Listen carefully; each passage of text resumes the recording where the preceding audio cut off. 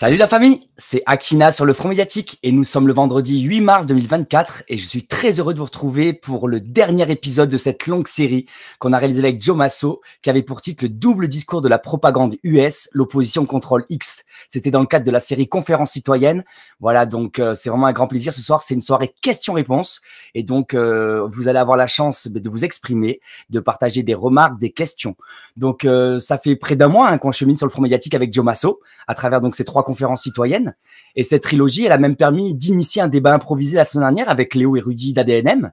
Et pour conclure ce cycle autour du discours donc de la propagande US, on vous propose cette dernière soirée en direct pour échanger avec vous et surtout Joe aussi qui va répondre à vos questions avec cette émission questions-réponses qui vous permettra donc de participer et de partager, comme je le disais, vos remarques, interrogations qui ont été soulevées à travers ces lives. Donc dans un premier temps, Joe répondra pendant une heure environ à des questions et remarques qu'on a récupérés, qui ont été déposés sur les différents réseaux sociaux du Front médiatique. Donc, on a fait une sélection d'environ une vingtaine de remarques et questions. Puis Dieu rebondira aussi assez rapidement sur le live de Se réveiller, s'informer, qu'avait souhaité euh, quelques jours après le débat avec ADNM et la suite des trois conférences, qu'avait souhaité partager son regard sur les enjeux actuels aux USA euh, suite donc aux interventions de Joe. Et donc euh, Joe s'est permis d'écouter ce live et il a envie de rebondir sur certains éléments qu'il a trouvé intéressants dans la posture de Geoffrey. Et enfin donc on prendra vos questions à vous internautes en direct dans la dernière partie de la soirée. Et donc on espère que cette dernière soirée autour de l'opposition au contrôle X nous permettra de conclure ce cycle de conférences sur une note constructive et d'acquérir quelques enseignements clés. Voilà. Donc, euh, pour continuer mon introduction rapidement, euh, j'avais envie de partager quand même euh, quelques éléments avec vous, parce que pendant ces trois conférences de Joe et pendant le débat, ben, moi j'étais énormément en retrait. Je me suis permis à la fin de chacune des conférences de faire des commentaires, mais qui étaient plutôt généralistes. J'ai pas forcément beaucoup exprimé mon point de vue euh, et j'ai pas voilà, j'ai pas donné mon opinion. Et donc euh, j'ai vu que sur la toile il y avait beaucoup de gens qui s'imaginaient à ma place ce que je pensais. Et donc euh, ben, je trouve ça assez déplacé comme posture hein. moi je me permets pas de, de dire ce que les autres pensent au vu des intervenants qui font intervenir sur leurs médias. Et donc voilà je me permets une petite introduction. J'ai préparé quelques messages clés neuf messages clés que j'ai préparés ce matin pour le live de ce soir euh, d'ailleurs, merci. Hein, n'hésitez pas à partager le live, à donner de la visibilité. Hein. Sachez que par exemple sur Twitter, euh, la première émission euh, de Joe, la première conférence sur Twitter a fait 16 000 vues, la deuxième 5 000 et la troisième 2000 vues. Voilà, donc c'est assez étonnant. Pourtant, c'était un cycle de conférences, donc je peux pas tirer de conclusion au vu de ces statistiques-là. Mais voilà, pour moi, il y a quand même une volonté d'invisibiliser les productions du front médiatique et encore celle de Joe, même si certains diront que qu'on critique Trump, évidemment, on va être valorisé et pas censuré je pense qu'il y a d'autres niveaux de lecture. Voilà, donc rapidement, euh, neuf messages clés. Euh, pour vous rappeler mais ma posture à moi en tant qu'individu. J'impose rien à personne, mais c'est simplement pour clarifier en fait la posture du Front médiatique et surtout ma posture à moi. Je suis quand même l'animateur principal, je suis un des fondateurs du Front médiatique et donc euh, voilà, c'est important pour moi, ben, en tant que journaliste indépendant, citoyen, euh, qui garde sa souveraineté, et ben, de partager mon point de vue que je n'impose à personne tout simplement. Mais voilà, c'est intéressant pour moi ben, de m'exprimer pour vous partager mon regard qui n'est que le mien. Mais j'espère que ces neuf messages clés que je vais vous partager pourront inspirer certains d'entre vous. Voilà, déjà le premier point clé que je voulais vous c'est se poser des questions sur nos croyances ou nos représentations du monde est nécessaire et sain d'esprit. Voilà. Pourquoi je dis ça? C'est parce qu'aujourd'hui, je me rends compte que quand on aborde certaines questions, comme par exemple la question euh, euh, d'Elon Musk ou de Donald Trump qui ont été abordées dans les conférences de Joe Masso ou Q, et eh ben en fait c'est très difficile en fait de faire entendre euh, une voix divergente par rapport aux médias alternatifs qui ont une voix, on va dire, dominante par rapport à ces sujets-là. Et donc, euh, ben, moi, je trouve que c'est très sain, en fait, en tant qu'individu, en tout cas, moi, c'est ma posture, euh, tous les jours, de questionner mes croyances, mes représentations du monde, en insérant, en fait, les nouvelles informations qui viennent à moi. Et je pense vraiment que c'est une posture que je trouve saine et donc que je me que j'embrasse entièrement. Et donc, si vous regardez mes propos il y a 15 ans, il y a 10 ans, il y a 5 ans aujourd'hui, ou même il y a, il y a un mois et aujourd'hui, ou il y a 6 mois et aujourd'hui, vous verrez qu'ils sont différents. Voilà, moi je trouve ça vraiment sain. C'est pas parce qu'on nous a menti en fait sur le monde, comme euh, j'aime bien dire souvent, hein, l'imposture euh, euh, l'imposture universelle, comme l'appelle George Orwell, où en fait on nous a menti sur tout. Et ben en fait c'est pas parce qu'on nous a menti sur tout que les nouvelles informations qu'on vient découvrir grâce à des médias indépendants sont la vérité. Et d'ailleurs, le Front médiatique n'a pas non plus, mais je ne vais pas déborder sur les prochains points. Voilà. Donc voilà, c'est pour moi, c'est vraiment important. C'est pas parce qu'on s'est fait avoir une fois et qu'on nous a donc, on s'est fait sentir trahi que le dogme dominant en vigueur doit être remplacé par un nouveau dogme. En tout cas, pour moi, c'est nécessaire de, voilà d'évoluer et de se questionner en permanence. Le deuxième message que je voulais vous partager, c'est donc euh, l'objectivité n'existe pas. Voilà, ça je l'ai très souvent dit sur le front médiatique, mais je le répète ce soir. Pour moi, en fait, l'être humain est rempli de d'expérience de vie, de sensibilité, euh, d'une socioculture qui le façonne. Hein. Si j'étais un, Indien qui venait d'Amazonie, évidemment, mon regard euh, sur Donald Trump, les avions, la permaculture serait pas le même. Et donc voilà, je tiens à rappeler que le Front médiatique et moi-même, on n'est pas objectif et on n'est pas omniscient non plus. On n'a pas la vérité, on n'a pas la capacité de tout comprendre. Je pense que le monde est trop complexe euh, et je parle même pas du cosmos pour pour pouvoir tout simplement comprendre l'intégralité du monde. Voilà. Euh, ensuite, le troisième message clé, c'était chercher la contradiction. C'est un peu en lien avec les deux précédents. Hein. Euh, s'informer sur différents médias pour éviter de s'enfermer dans ces nombreux biais cognitifs. Donc on est tous remplis de biais cognitifs. Je vais pas vous faire la liste des biais cognitifs. Je crois qu'il y en a une centaine. Hein. J'avais une très jolie carte que j'avais présentée il y a quelques années où on voit euh, une centaine de biais cognitifs qui montrent ben, comment l'être humain, au niveau neuronal, au niveau cognitif, a en fait des biais qui sont liés à, eh ben, au mécanisme de notre cerveau. Évidemment, les plus connus, c'est les biais de confirmation, ou tout simplement, si par exemple, eh ben, on boit beaucoup d'alcool, eh ben, on va éviter de lire les articles qui disent que l'alcool c'est dangereux pour la santé, et on va partager aux potes un article qui dit que le vin, euh, boire trois, trois verres de vin par jour, euh, euh, ça évite le cancer. Voilà, je vous donne un exemple un peu bateau, mais dans le sens que c'est naturel en fait que quand on accède à une information qui va dans, dans son sens, eh ben en fait on embrasse cette information là, et quand une information va à l'inverse de son sens, le biais de confirmation ou d'infirmation à l'inverse et ben en fait on, s'éloigne de cette information là. Voilà. Donc pour moi chercher la contradiction c'est hyper important. J'ai pas envie d'écouter. Euh, enfin d'ailleurs j'écoute quasiment plus les médias dominants, mais j'écoute encore de temps en temps les médias dominants. Mais je vais pas écouter euh, que Libération ou que l'Humanité. J'écoute aussi Le Figaro, Les Échos,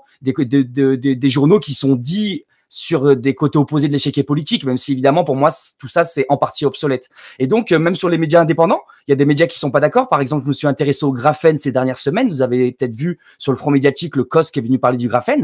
Et eh bien j'écoute aussi des gens qui critiquent le graphène et qui disent pourquoi il n'y a pas de graphène dans les injections. Et donc en fait je trouve ça très sain euh, de chercher de la contradiction et d'aller s'informer sur des médias qui sont à l'inverse de nos croyances. Parce que c'est comme ça qu'on s'enrichit. C'est un peu, on dit, euh, quand on parle à quelqu'un, ben en fait, on n'apprend rien parce qu'on partage notre connaissance. Alors que quand on écoute quelqu'un, eh ben là, on vient apprendre de l'autre. Et donc, apprendre de la contradiction et pas uniquement des gens qui pensent comme nous, eh ben, je pense que c'est un peu lié évidemment au point précédent, mais c'est vraiment un, point essentiel. Et d'ailleurs, le Front médiatique est un média qui a invité des invités qui étaient contradictoires. On a invité des gens euh, euh, qui étaient d'extrême gauche, des, le, PRCF, le pôle de renaissance euh, communiste français. Mais on a aussi, je sais pas, accueilli par exemple Xavier, Philippe Meurer, qui est venu nous parler d'écologie et qui pourtant est passé au Front National. Donc en fait, pour nous, la contradiction, ou même Samuel Alexander, qui est venu nous dire que le Covid c'était dangereux. Donc en fait, pour moi, c'est très sain en fait d'aborder la contradiction liée au point précédent. Et donc c'est une clé pour moi que j'impose à personne évidemment. Le quatrième point que je voulais vous partager, c'est lié évidemment aux commentaires et aux remarques qu'on a souvent reçues suite à la trilogie euh, de Joe, c'est chercher un leader politique qui suscite de l'espoir n'a pas pour conséquence de promouvoir le désespoir. D'ailleurs, c'est pas forcément que leader politique, hein, ça peut être des leaders aussi d'opinion comme Elon Musk ou d'autres, hein, ou, euh, ou Carlson. Et donc en fait, pourquoi je dis ça, c'est parce qu'en fait, la plupart des gens nous disaient, ouais, vous critiquez Trump, euh, donc en fait, vous semez le désespoir chez les gens et tout. Mais c'est quoi le lien? Est-ce que vous m'expliquez la logique rationnelle entre critiquer Donald Trump et semer le désespoir? En fait, le, chemin logique que vous faites, c'est pas une logique rationnelle, quoi. C'est, illogique en fait comme lien. Et donc, je peux, je respecte votre choix hein, de, d'avoir cette logique-là, mais pour moi, c'est pas une logique pure, c'est pas une logique mathématique. Euh, on peut pas faire le lien entre critiquer Trump et semer le désespoir. Pour moi, au contraire, pour semer l'espoir, c'est encourager les individus à mieux comprendre les mécanismes du monde, mieux comprendre les acteurs en présence, mieux comprendre les stratégies mises en place. Et donc, en fait, c'est très sain de se poser des questions sur des individus. Par exemple, moi, il y a euh, deux individus qui m'ont beaucoup inspiré il y a une quinzaine d'années quand je suis tombé dans la, de, quand j'ai compris euh, la, la, tromperie universelle. Euh, c'est Étienne Chouard et Michel Collomb. Je vous donne que ces deux exemples. Il y en a évidemment plein d'autres. Hein. mais Michel Collomb et Étienne Chouard, pour moi, c'est des grands monsieur. C'est des gens, c'est des intellectuels, des politiciens que, que j'apprécie, des journalistes indépendants que j'apprécie. Et je les, je les lis, je les écoute. je les connais même d'ailleurs personnellement. Mais pour autant, je suis pas d'accord avec tout ce qu'ils disent. Par exemple, Michel Collomb, je le, dis publiquement, c'est pas du tout pour le cibler lui, c'est pour vous donner des exemples. Michel Collomb sur le Covid, il a, il est à côté de la plaque pour moi. Il a écrit deux livres sur le Covid où il croit au narratif dominant et il s'est totalement fait euh, bah, avoir tout simplement par euh, le narratif des médias mainstream. Alors que le mec, il est spécialiste de la propagande de guerre. Il explique comment les médias préparent l'opinion publique à la propagande de guerre. Donc voilà, pour moi, un mec de, du, niveau, c'est vraiment du haut niveau, Michel Collomb, en termes de géopolitique et de, de compréhension des mécanismes de, de, de, voilà, de guerre impérialiste de guerre impérialiste de l'Occident euh, dans, partout aux, quatre coins du monde, et bien en fait malgré ça il s'est fait avoir. Et Chen pareil, je suis fan d'Etienne Chouard. Ça fait 15 ans, on l'a fait venir à Toulouse trois fois. C'est un ami, Étienne. Mais pourtant, je pense que parfois, dans ses analyses, il peut avoir une forme de naïveté parce qu'il réduit l'être humain uniquement à l'homme politique, alors que l'être humain n'est pas qu'un homme politique. L'être humain est aussi un, être, un être euh, bien plus complexe avec, euh, ben, je parlais de biais cognitifs, avec euh, un, monde spirituel, dans le monde de l'invisible, etc. Donc en fait, même les gens que j'adore, même les gens qui m'ont inspiré, et eh ben pour autant, je peux les critiquer je le fais pas forcément au quotidien parce que je vois pas l'intérêt de critiquer euh, ces deux personnes-là qui sont des personnes qui, qui font grandir la cause. Mais moi, pour moi, Donald Trump, aujourd'hui, je me pose des questions grâce à Joe et pas que d'ailleurs. J'ai jamais été fan de Trump, vous le savez, sur le front médiatique, mais j'ai invité des soldats numériques qui étaient fans de Trump et je trouve ça très sain. Et pourtant, aujourd'hui, mais c'est plus que des questions que j'ai pour Trump, c'est carrément, je me demande s'il fait pas partie, eh ben, d'une opposition fabriquée pour donner, euh, donner la nourriture aux complotistes euh, celles qui cherchent entre guillemets. Ils ont mis des personnages qui vont avoir des discours qui nous plaisent. Je vais vous donner l'exemple de Mélenchon dans une autre conférence, enfin dans une autre intervention de Joe, où voilà, Mélenchon va répondre à un type de public, à un type de sensibilité, de valeur, d'humanité. Mais au final, derrière, on sait que le mec, à 36 ans, il était sénateur. Euh, il vient, il, c'est un franc-maçon, il vient, il vient du système. Donc comment on va se libérer avec un mec qui vient totalement du système? Et j'ai rien contre Jean-Luc Mélenchon particulièrement. Hein, c'est juste des exemples. Le cinquième point que je voulais vous partager, vous inquiétez pas, il y en a que neuf. Après, Joe arrive dans quelques instants je m'exprime un peu parce que je me suis pas exprimé pendant 6, 7, 8 heures de démission quand même. Euh, ne pas sous-estimer l'ennemi, voilà. Et donc pour moi, le Covid ou le 11 septembre sont de parfaits exemples pour comprendre les rouages de l'opposition contrôlée. Donc euh, on a vu pendant le Covid euh, ou pendant le 11 septembre qu'il y a eu ben, à la fois des, personnages emblématiques, des organisations emblématiques. Pour le 11 septembre, on pourrait parler par exemple d'architectes et ingénieurs for, pour la vérité, avec Richard Gage, euh, qui sont des, des, des, personnages emblématiques que j'ai suivis, que qui m'ont qui m'ont nourri, euh, que j'ai remercié. Euh, euh, enfin voilà, pour qui j'ai beaucoup de respect. Et pour autant, grâce à Kaji, j'ai compris que potentiellement, enfin c'est pas potentiellement, c'est aujourd'hui pour moi c'est une conviction, c'est pas une certitude mais c'est une conviction. Euh, J'en suis sûr à, enfin convaincu à 90%. J'ai jamais de certitude absolue. J'en parlerai plus tard. Et eh ben je suis persuadé que au final des individus comme ça, qu'ils soient placés par le système ou qu'ils soient eux-mêmes sincères mais qui soient un peu des idiots utiles pour le système. Et ben, au final, il y a une ambiguïté dans leur posture parce qu'au final, ils parlent de, de, des tours du World Trade Center qui auraient été euh, qui auraient été mis à terre par une démolition contrôlée conventionnelle. Et au final, ben pour moi, les éléments que Kaji m'a amené, en plus en tant que personne euh, ayant une formation dans, dans le monde de la construction, et ben je considère que non, c'est pas de la démolition contrôlée classique à cause des processus de poussiérisation, des problématiques autour de euh, de l'impact sismique, des survivants dans la tour, etc. Donc euh, voilà, Richard Gage, architecte et ingénieur, ou même Reopen 9-11 en France, que j'ai soutenu. J'ai des amis qui sont bénévoles chez Reopen 9-11, qui ont été aux assemblées générales de Reopen, et je débat avec eux. D'ailleurs, certains évoluent, d'autres non, et livrent à chacun.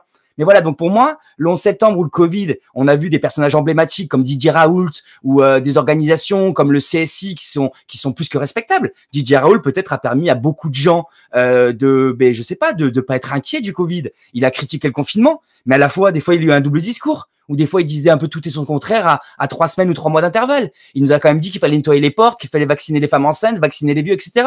Alors qu'on savait même pas ce que, composaient les vaccins, qu'on n'avait aucun recul et que euh, les 100 ans d'histoire de la vaccination n'ont pas été respectés. Euh, non, c'est 10 ou 15 ans pour un vaccin, et là ça a été fait en 9 mois. Donc euh, voilà, je veux dire, et même des, organisations qui sont plus que respectables, que je porte aussi dans mon cœur, comme le CSI, et ben au final, pourquoi ils abordent pas certains sujets comme le graphène? Pourquoi? Ou sur les virus. On sait qu'aujourd'hui, il y a des questions sur les virus avec Antoine Béchamp, avec Alain Scoy aujourd'hui qui est en train de, faire un fantastique travail en France qu'on a accueilli à trois reprises le front médiatique sur les travaux de Béchamp. Pourquoi on parle pas Est-ce que les virus existent? Est-ce qu'il y a du graphène dans les fioles?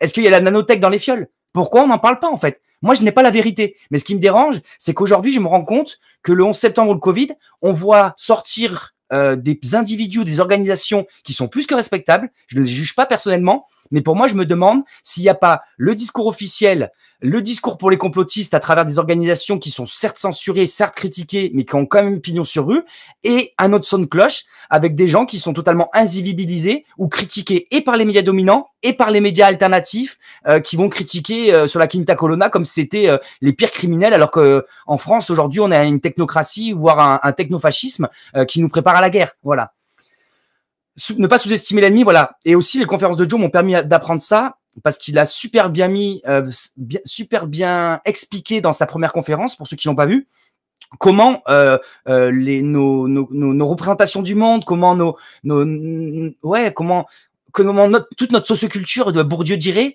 en fait, est façonnée par le monde télévisé, cinématographique, musical. Et j'avais sous-estimé en fait cette part-là. Comme je vous le disais, si j'étais un Indien d'Amazonie, évidemment, j'aurais un regard tellement différent sur tout ça. Allez, je continue sur le sixième point. Donc le sixième point, c'est les sauveurs extérieurs que soit Macron, Trump, euh, Mélenchon, Jésus, peu importe. Hein, et c'est moi qui choisis les noms. Voilà, je veux, veux toucher personne parce que moi aussi, j'ai une vie spirituelle que je garde à titre personnel et que je partage pas beaucoup sur le front médiatique parce que pour moi, la spiritualité, c'est ça fait partie de la sphère de l'intime, comme la sexualité, comme la vie familiale, etc. Donc j'en parle pas, mais euh, c'est pas pour euh, critiquer aucune religion. Hein, J'aurais pu mettre d'autres d'autres personnes. Et eh ben elles sont pour moi pas là. Elles sont là que pour réveiller notre sauveur intérieur. Et d'ailleurs, c'est ce que dit euh, Jésus, que j'ai pourtant mis dans la liste. C'est aide-toi toi-même et le ciel t'aidera.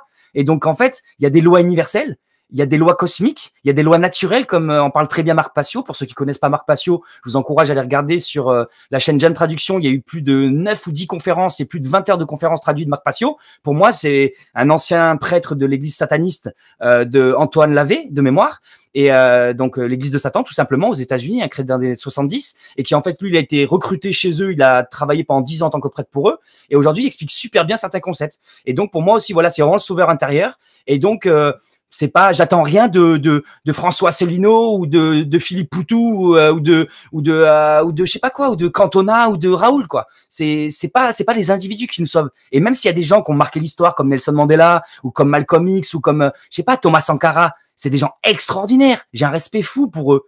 Mais ces gens-là, ils ont été aussi le récepteur d'une de, de mouvements populaires et de dynamique populaire, de dynamique du peuple.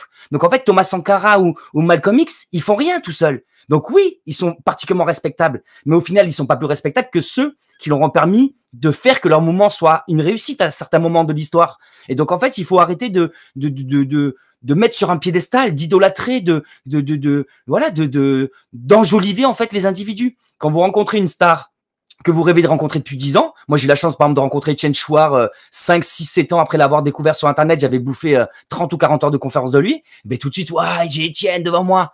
Mais en fait, j'ai vécu trois jours avec lui et je me suis rendu compte que c'était un être humain comme vous et moi. Et donc, en fait, oui, il est magnifique et à la fois, il est, il est imparfait. Et moi, c'est pareil. Il y a des gens peut-être qui m'idéalisent sur Internet, d'autres qui me crachent dessus. Et eh ben, il y a des gens qui m'idéalisent dans un sens et d'autres qui me, qui me désidéalisent dans l'autre sens. Donc, en fait, voilà, arrêtons d'attendre ces sauveurs extérieurs. Euh, le septième point que je voulais vous partager, c'est s'aimer dans la diversité. Ça, c'est un message que je vous partage à chaque fois, la famille. Et c'est pour ça que j'introduis depuis que j'ai commencé, il y a quatre ans, ces vidéos, j'en ai fait plus de 350 en quatre ans. C'est salut la famille, c'est Akina. Salut la famille. Pourquoi la famille? Parce que moi, je considère que les êtres humains, c'est une famille. C'est une grande famille. Moi, quand je vois un frère qui crève la dalle à Haïti, qui est obligé de bouffer de la boue, eh ben, ça me fait mal au cœur. Quand je vois un SDF au, coin de ma rue, euh, dans, au fin fond de ma Corrèze, ça me fait mal au cœur. Quand je vois une maman à qui on enlève son gamin pour mettre le gamin chez le papa qui est un prédateur sexuel, ça me fait mal au cœur. Et donc en fait, on doit être reconnectés les uns les autres. On doit recomprendre qu'une espèce, elle, elle s'entraide. Et donc s'aimer dans la diversité, c'est donc pour moi insulter ou humilier un être humain ou détruire une amitié à cause d'un désaccord est une grossière erreur. C'est pas parce que je suis en désaccord avec vous intellectuellement qu'on sera pas les meilleurs amis du monde pour aller planter des carottes, pour aller boire une bonne bière, pour se faire un bon barbecue, pour aller refaire un bout de ma charpente ou un bout de ma couverture. C'est pas parce qu'on est qu'on vote pas au même endroit sur l'échiquier politique ou parce que moi je veux pas voter, pour moi c'est une connerie et toi tu es persuadé que le vote c'est euh, une nécessité, que c'est manquer de respect aux ancêtres qui se sont battus pour le droit de vote, que on va arrêter d'être amis. Et donc en fait c'est pas parce que toi t'aimes Trump et moi j'aime pas Trump ou que moi je me pose des questions sur Trump dans sa sincérité, dans où il se positionne dans l'échiquier et quel est son rôle, qu'on doit euh, détruire une, amitié. En fait, si on détruit les amitiés comme ça à l'échelle populaire, comment vous voulez qu'on arrive à faire société? Comment vous voulez qu'on construise une démocratie? Comment vous voulez qu'on apprenne à vivre malgré les différentes religions, les différentes philosophies, les différentes sensibilités sexuelles? Pour apprendre à vivre en paix les uns avec les autres. On doit réussir à dépasser ces clivages. Je vous dis pas que je vais être ami, que je vais boire des bières tous les soirs avec le mec qui fait des ratonnettes le week-end. Bien évidemment, il y a des limites à chaque pensée. C'est comme dans une citation, il y a des limites. On pourrait développer pendant des heures chacune de ces pensées que je vous développe en quelques, en une ou deux minutes par point. Mais voilà, pour moi, il faut arrêter de s'insulter, de s'humilier. Moi, j'ai jamais insulté ni humilié personne. Et j'insulte pas Trump. Je me pose des questions sur Trump. Et je n'insulte personne qui, qui, qui, qui adulte Trump, ou même pas des gens qui l'adultent, mais des gens qui ont de l'espoir et qui pensent qu'il a un, rôle à jouer. Ils ont le droit. Et c'est sain. Et tant mieux qu'on n'est pas d'accord. La nature est diverse. Et bien nous aussi, on est diverses. Voilà, donc euh, ne, ne, ne, nous tapons pas dessus comme des gamins dans la cour de récréation. Moi, j'ai des gens qui viennent sur le front médiatique qui me disent je suis déçu par toi, Akina. Mais déçu de quoi? Je suis pas là pour que tu je sois euh, à l'inverse d'être déçu. Euh, je suis pas là pour te satisfaire. Moi, je suis là pour faire mon travail de journaliste citoyen et vous partager des ressources que je trouve intéressantes. Je suis pas là pour que vous m'aimiez ou que vous m'aimiez pas. Je suis là pour qu'on s'enrichisse les uns les autres, qu'on se nourrisse, qu'on s'apporte de la connaissance. J'invite des gens qui, qui viennent nous nourrir intellectuellement. Déjà, je le fais pour moi aussi. C'est des conférences que j'ai tous les vendredis soirs. Bientôt tous les mercredis soirs. Allez, je pourrais faire plus sur chaque point, mais il faut passer parce que Joe arrive, il attend, il est dans les coulisses. Huitième point s'intéresser à l'occultisme. Ça, c'est très récent pour moi et d'ailleurs, ça va peut-être déstabiliser des gens du front médiatique. On a commencé à ouvrir un peu des brèches avec euh, euh, Sophie de Debut Barbelu qui était venue en octobre dernier, euh, qui nous avait parlé des sorcelleries d'Elon Musk. Donc, on parle de sorcellerie, de magie, d'occultisme, d'ésotérisme. C'est de mots un peu complexes hein, qui qui sont pas forcément clairs pour pour nombre d'entre nous. Moi, le premier, je suis en train encore de, de découvrir cet univers-là. Mais pourquoi c'est important? C'est parce qu'en fait, le côté mystique et ésotérique sont des piliers essentiels pour comprendre les visions des dominants. Pourquoi?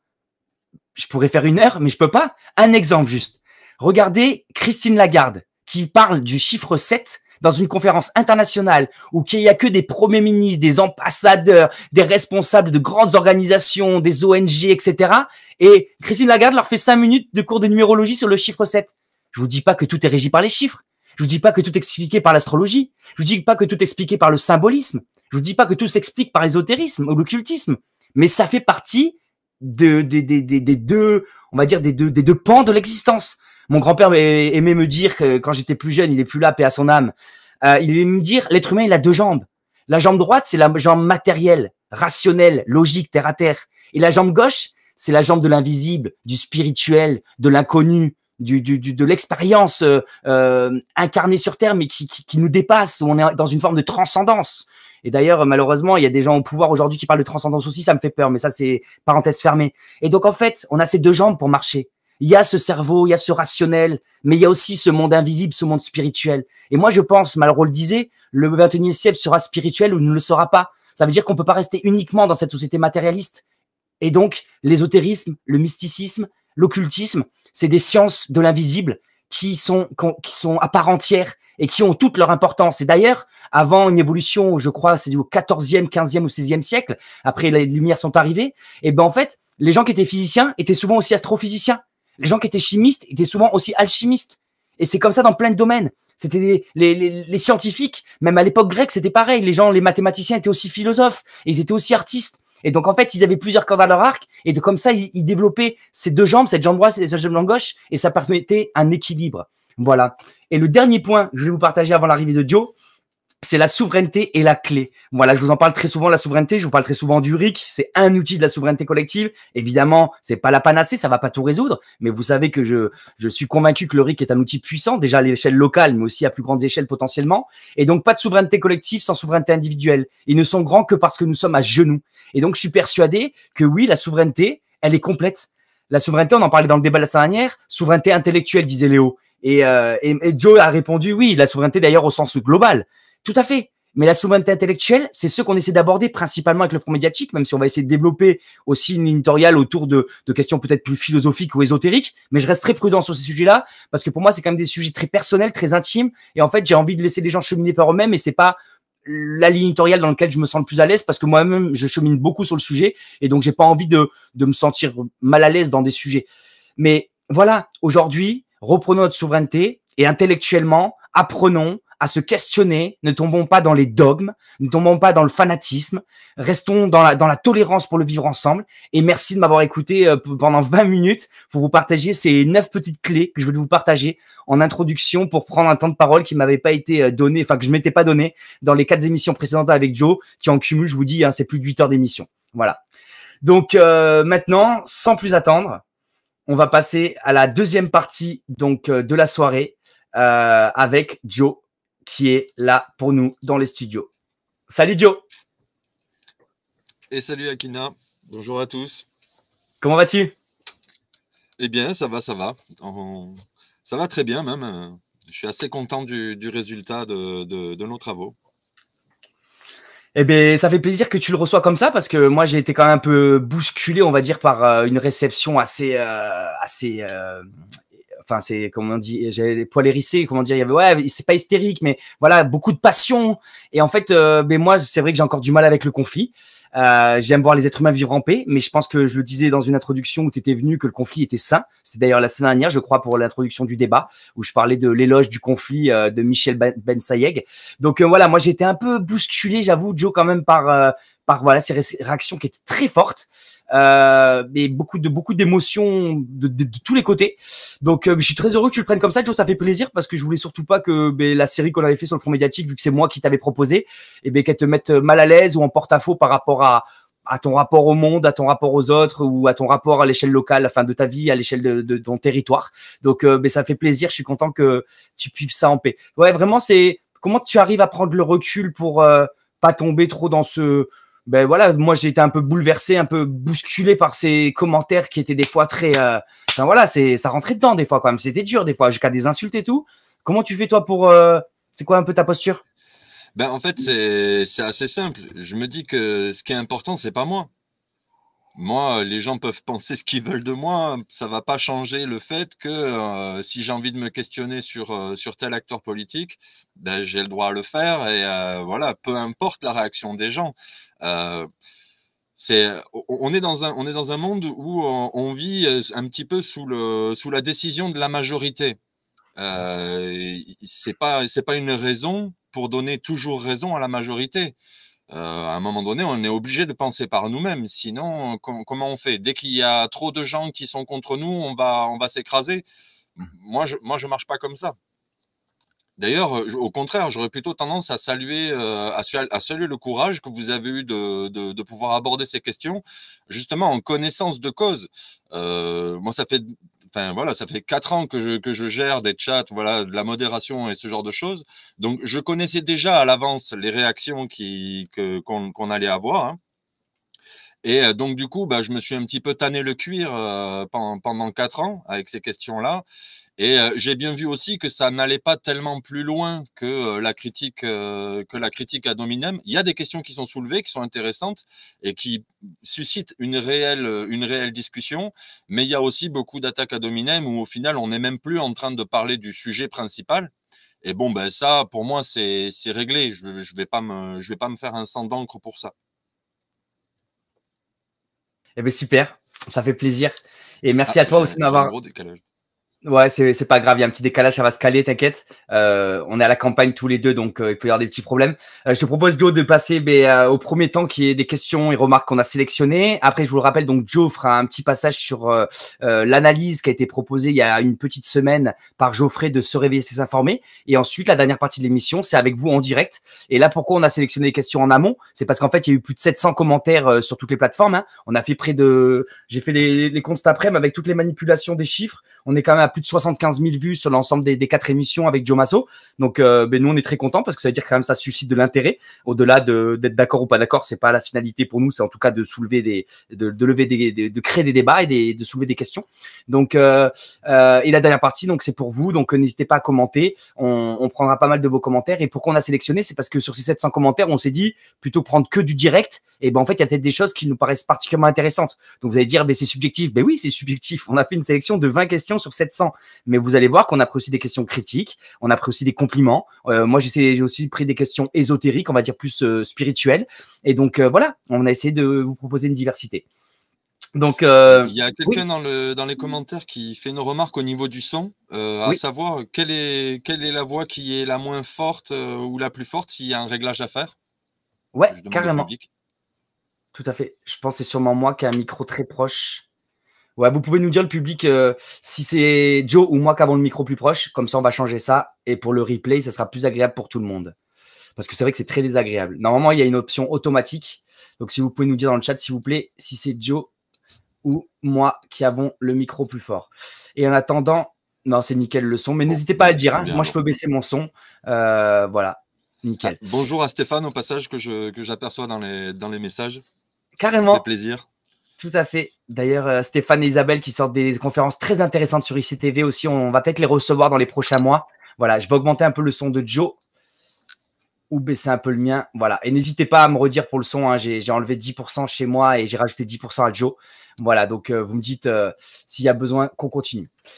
Allez, donc je lis les questions, Joe, ou les remarques. Et, et tout simplement, ben après, je te laisse euh, rebondir. Moi, j'essaierai de pas trop commenter. Je me suis permis de faire une belle intro. Euh, je prendrai peut-être quelques commentaires quand même sur les questions qui me tiennent particulièrement à cœur. voilà. Dites-moi encore pour le son, s'il y a encore besoin que je baisse un peu mon son. Ben, apparemment, c'est mon, ce serait mon micro, donc je vais juste parler plus, plus proche de mon micro. Ok. Oui, oui, vous pouvez poser les questions, Misérie. Euh, tu peux poser les questions ici, hein, euh, dans le chat privé. Euh, après, posez plutôt les questions à la fin, parce que je vais pas pouvoir remonter les, les, 700 commentaires du direct ou les 300 commentaires du direct à la fin de l'émission, enfin la dernière partie de l'émission. Donc voilà, essayez plutôt. voilà. donc c'est parti. Merci à vous. Donc première remarque, c'est pas introduction, hein, c'est questions sélectionnées. J'ai fait une petite erreur dans le titre. Donc on en revient toujours au même. Ne donnons pas notre énergie à ces personnalités bougeons-nous notre cul, pensons à nous-mêmes, à nos proches, à petit niveau, localement, et reconstruisons les choses simples entre nous. Faisons des groupes de parole, des collectifs, où on échange les infos, comme on a pu le faire sur notre groupe, pour justement construire ensemble l'avenir. Voilà, c'est une remarque, hein, c'est pas une question, mais je voulais juste savoir si tu voulais rebondir sur euh, ce commentaire. Oui, oui, oui, bien, bien évidemment. Euh, la reconquête de la souveraineté, elle passe par, euh, par du dialogue et du dialogue local, évidemment. Hein. Euh, bon, par contre, il y a quand même une. On est, on est en train de traverser une phase historique qui va nous amener à du conflit, potentiellement des bris, de, des bris de consommation et ce genre de choses. Donc, débattre, c'est une chose, mais il faut avant tout s'entendre sur l'objectif commun qui est déjà de subvenir à nos, besoins. Pour moi, c'est vraiment la, question essentielle, elle va être là. Ensuite, le débat, euh, il est secondaire, parce que tant qu'on a à manger, on peut débattre. Quand on n'a plus à manger, débattre, ça ne sert plus à rien.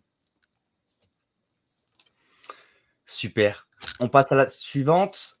Question sélectionnée. Voilà. Donc ça, c'est une question qui a été posée par Benoît sur YouTube, qui nous dit, c'est des questions commentaires. Hein. Euh, remarque. En effet, j'aimerais voir Alexis débattre avec ce démoralisateur. D'ailleurs, j'ai parlé de ça à l'intro. Je ne vois personne dans les commentaires avec des opinions opposées. J'ai hâte de voir si je vais être censuré. On censure personne sur le front médiatique, entre parenthèses. Hein. On n'a jamais supprimé de commentaires. On n'a jamais viré non plus personne sur Telegram. Je suis bien content qu'au minimum, vous vous remontez le moral en vous disant tous qu'il n'y a aucun espoir pour ne pas rester passif. Pauvre Joe, tu vas être déçu lorsque Trump va être élu officiellement. Au fait, est-ce que tu es au courant de la continuité du gouvernement? Tu dois être ravi de la désinformation contre Trump par les médias mainstream, puisque vous avez la même mission, empêcher Trump de devenir président.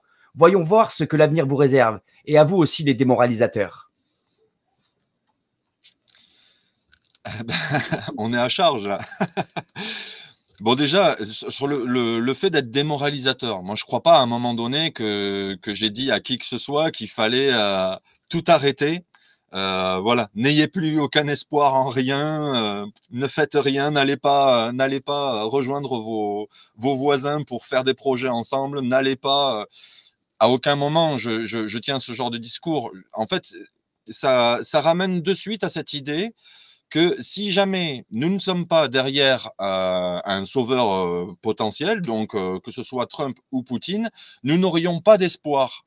Et je trouve, cette conclusion extrêmement préoccupante parce que que, seront les gens qui m'entourent s'ils n'ont pas, s'ils ont pas ce genre de, modèle? Et si jamais il n'y a pas ce genre de modèle, est-ce qu'on va pouvoir s'en sortir? Moi, euh, j'ai besoin d'un espoir en dehors de ces modèles-là. J'ai besoin d'avoir euh, une, euh, un espoir qui est beaucoup plus relié à mes questions existentielles plutôt qu'un programme politique euh, qui, en plus de ça, va être la résultante de, milliers d'années d'histoire du capitalisme. Donc, euh, moi, mon, comment dire, mon moral ne dépend absolument pas de ces gens-là. Et j'espère, j'espère que euh, un maximum de gens ne, ne, cultivent pas trop leur espoir sur, sur ce genre de personnalité. Je trouve ça, je trouve ça très dangereux.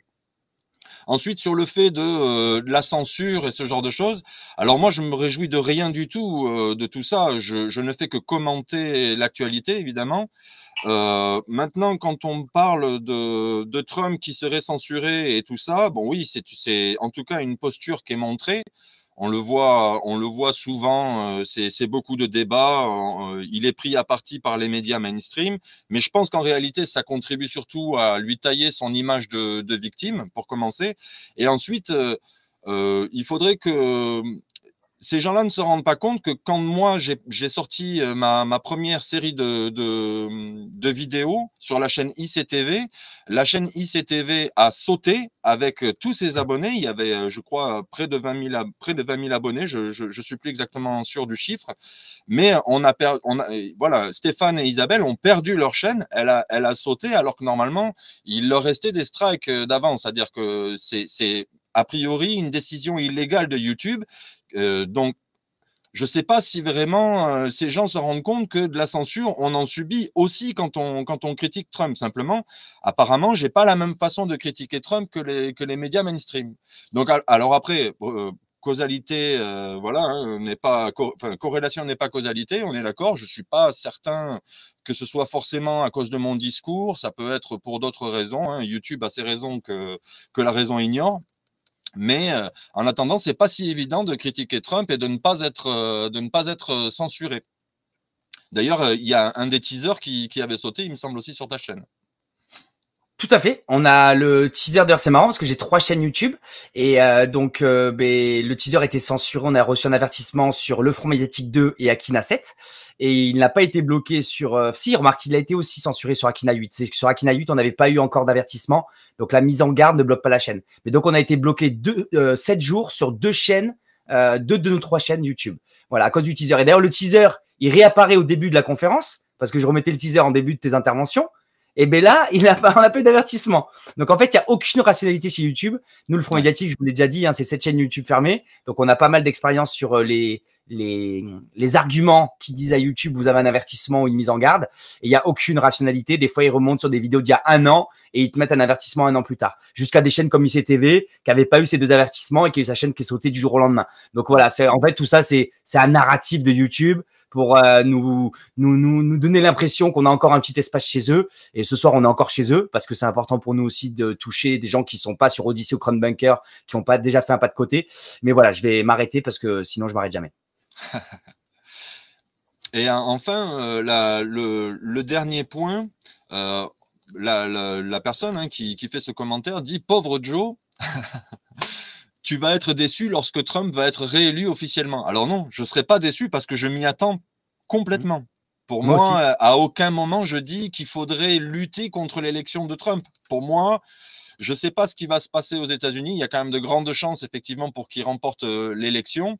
Euh, moi, de mon point de vue, ce n'est pas un marqueur. Euh, la, politique américaine, encore une fois, c'est pas celle qui, qui, fait. je vais reparler de mon jardin, mais c'est mon, jardin ne dépend pas de l'élection de Trump. Donc, je ne serai pas déçu. Ce sera exactement ce à quoi je m'attends finalement.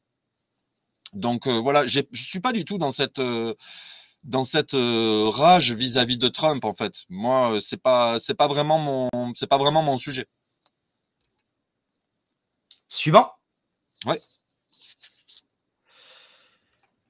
Alors, après mûre réflexion, il me vient une question. C'est toujours Benoît, hein. donc euh, après mûre réflexion, il me vient une question. Une question qui me semble n'est pas répondue dans cette vidéo alors que c'est le cœur du sujet. Qu'est-ce que ce double discours dont Joe parle? Est-ce le discours mondialiste vs le discours nationaliste? Ou bien vous voyez un double discours dans le même camp, Musk, Carlson, Trump? Je réalise que j'avais pris la première option pour acquis, mais peut-être que je me trompe. Et je me permets d'insister sur ma question, puisque je n'ai pas encore de réponse. Est-ce vraiment utile de nourrir le même but que l'État profond? Et si oui, en quoi c'est utile? Une première réponse ici serait une petite avancée déjà, puisque vous ne semblez pas trouver que débattre avec Alexis serait une idée de génie vous fouillez le, fouillez, excusez-moi, le lointain passé de Trump et des deux autres mais vous ne semblez pas tenir compte de ce qu'ils sont en train de faire présentement. Alors, bah, le double discours, là où je le situe, il faut le regarder de plusieurs façons différentes il y a un double discours au niveau international. Et là, je vous renvoie aux dernières émissions qu'ont fait euh, Stéphane et Isabelle sur la chaîne ICTV, où on va voir qu'en réalité, euh, si je prends par exemple l'exemple de euh, Michael Flynn, qui euh, d'un coup va être pro pro QAnon et puis ensuite va déclarer que QAnon serait une opération euh, spéciale menée par les Russes communistes, on voit bien qu'il y a à cet endroit-là un double discours, d'autant plus que derrière Carlson va faire une interview de, de, de Poutine, qu'on apprend ensuite que Poutine finalement il préférerait Biden. Donc déjà on est envoyé sur plusieurs pistes à la fois et on ne sait plus vraiment qui est avec qui. Est-ce qu'il y a vraiment un bloc qui est tenu ou si on est en train de faire de la de la politique en, direct.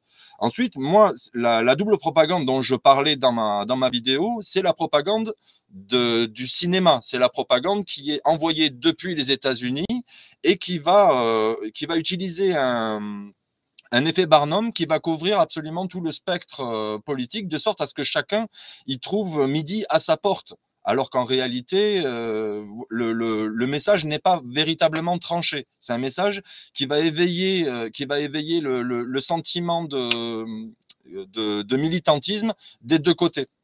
C'est en ce sens-là que je parle de, double discours.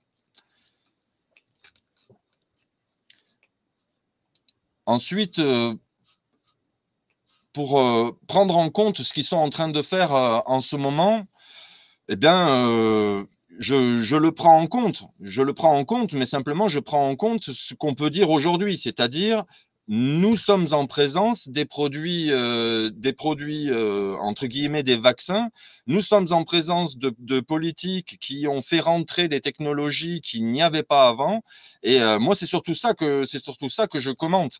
ce qu'ils sont en train de faire présentement, ben moi, je, vais plus le mesurer sur euh, quel est l'effort qu'ils veulent euh, montrer au monde, quelle est l'image qu'ils veulent donner au monde. Et je vois que euh, ben Trump n'échappe pas à, tous les objectifs de, de des places de pouvoir, c'est-à-dire il est en train de développer un messianisme pour pouvoir réunir un maximum de gens et bon, bah, là, c'est surtout ça qui est en train de se passer de mon point de vue. sur la question du, du Covid, de Warp Speed et compagnie, c'est derrière nous maintenant. Tu me dis suivant hein, quand tu veux. Hein. Oui, tu peux, tu peux enchaîner. Ok, parce que je sais pas, vu qu'il y a des fois il y a plusieurs questions en une, on va pas pouvoir répondre à toutes. Ouais. C'est bien, on, on, a déjà fait quelques-unes. Donc là, on va faire une par une. Euh, mais j'en ai mis plusieurs parce que voilà, c'était courte. Question sélectionnée, donc de Jean-Paul sur YouTube, partie 1. Et la famille Biden et les démocrates, Joe, t'en parles jamais dans ta ah. conférence? eh bien, écoutez, euh, révélation, allez voter pour. Non, je plaisante. En fait, je parle pas de la famille Biden et des démocrates parce que bien avant qu'il y ait euh, les, les, fameux Twitter Files, les révélations sur euh, le, le, laptop de Hunter Biden, bien avant qu'on voit ça sur X, nous avions déjà les données. Nous en parlions déjà. Euh, il n'y a pas eu de révélation à cet endroit-là. Pour moi, les démocrates, le, débat, il était plié. Il n'y a rien pour sauver, euh, y a rien pour sauver personne dans la politique américaine. Je vais pas, euh, j'ai pas besoin de faire une critique, comment dire. équivalente en termes de en termes de critique par rapport à Trump pour moi, le côté démocrate, c'est évident sous les yeux de tout le monde. Je crois que dans la, dissidence entre guillemets, dans la complosphère, dans tout ce que vous voulez, enfin bref, les réseaux alternatifs d'information dont je fais partie, euh, je crois que tout le monde est un petit peu d'accord pour dire que la politique de Biden, bon, mais il y a rien à sauver a priori. Donc, euh, j'ai même pas besoin normalement de faire cette analyse-là de mon point de vue. Ça me plaît. Euh, une question de comment TQ6, excusez-moi, on dirait le nom de l'enfant de Elon Musk, hein, qu'il a fait je sais plus comment, XYZW3A. Euh, pourquoi ne parlez-vous pas en profondeur de Hillary? Des vidéos sont là. Qu'en est-il avec Linwood qui a vu des vidéos horribles? Alors, ben, j'aimerais bien voir les vidéos, comme ça je pourrais commenter quelque chose. Ben, je suis désolé de dire ça comme ça, mais euh, les vidéos sont là, on me parle d'adrénochrome et toutes ces choses-là pourquoi pas? Moi, il n'y a, pas de souci. Mais le problème, c'est qu'on n'a pas de matériel. Il n'y a, rien. Euh, ce que je vois par contre, c'est que euh, concernant Donald Trump, on est passé de la détestation et de la menace d'arrestation euh, de d'Hillary Clinton lors, de la, lors du débat. En quatre mois, c'était une, une stand-up ovation au dîner, au dîner inaugural de la présidence de Trump. C'est-à-dire que Trump est au débat avec Hillary Clinton il dit face caméra, euh, Hillary Clinton dit euh, euh, c'est bien que quelqu'un comme vous ne soit pas à la présidence, en tout cas en responsabilité à la justice. Et Donald Trump lui répond du tac au tac parce que sinon vous seriez en prison. Alors évidemment, le public se met à hurler, c'est waouh, quelle, quelle attaque incroyable.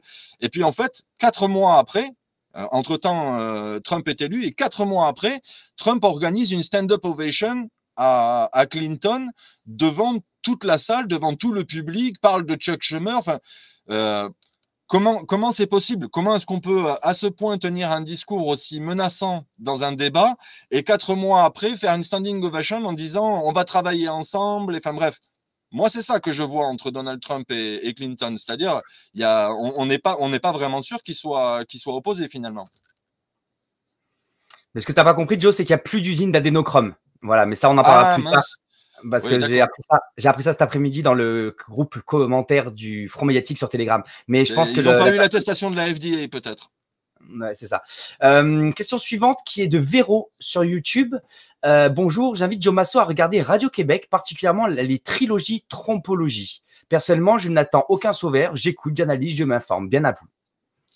Eh bien, écoutez, j'aurais tendance à dire la même chose hein, que cet intervenant. Euh, si les gens veulent regarder Radio-Québec, c'est très bien, euh, grand bien leur face, il n'y a, a, aucun souci. Euh, je disais la même chose hein, il, y a, il, y a, quatre ans. je ne suis pas forcément d'accord avec lui, je ne suis pas d'accord avec ses positions, mais ça ne m'empêche pas de regarder de temps en temps ses émissions, parce qu'il a une analyse, effectivement. Bon, voilà, elle vaut ce qu'elle vaut. On sait qu'elle est partisane, donc de mon point de vue, il faut le prendre en compte, mais je n'ai aucun souci. Je n'ai aucun souci. Euh, bon, évidemment, euh, sur la question politique et des solutions, forcément, je ne peux, pas, suivre que cette Trudel qui, euh, qui va avoir quand même tendance à, organiser le soutien de, Trump en francophonie. Et bon, certains réflexes aussi. Enfin, moi, je veux pas rentrer dans, je veux pas relancer une nouvelle polémique par rapport à ICTV, mais voilà.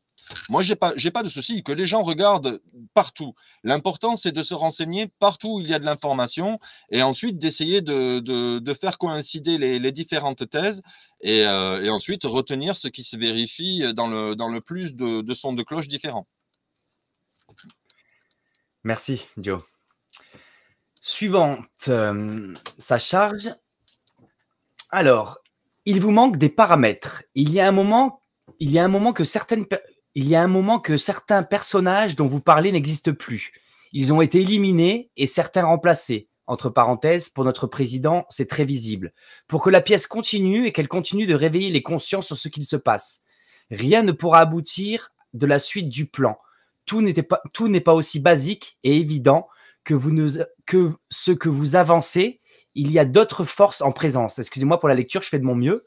Et j'ai mis ça en lien avec une autre question parce que pour moi, elles sont vraiment liées. Une nouvelle paire de, la deuxième, c'est euh, Annie, M. Excusez-moi pour la prononciation. Une nouvelle paire de lunettes à vous proposer. Monsieur Macron n'est plus comme bien d'autres de ce monde. Alors? Que dire? Euh, on est euh, là dans une spéculation parce que j'ai l'impression qu'on me propose de penser que les, dirigeants sont effectivement des, acteurs avec des masques ou, ou, je sais pas. Je suis pas sûr. Je suis pas sûr de bien comprendre ce, ce qui m'est dit. Alors quand on me dit ils ont été éliminés et certains remplacés, euh, on est en train de nous dire quoi? Qu'il y, a des clones de dirigeants qui sont à leur place. Euh. Moi, je peux peux pas statuer avec ce genre de, ce genre de, ce genre de choses. Moi, je, ce que je regarde, c'est concrètement euh, où en est le droit quand je sors de chez moi. Là, éventuellement, ça me parle. Mais commencer à me dire qu'éventuellement, peut-être Macron serait pas, serait pas vrai ou ce genre de choses, moi, de mon point de vue, c'est un, peu, un peu délirant. Je ne peux, pas, peux pas rentrer dans une discussion là-dessus. J'ai aucun élément pour pouvoir argumenter. Suivant. Alors, bravo pour votre travail, mais craindre ou pronostiquer la guerre, n'est-ce pas à votre, notre tour la programmer? Chantal.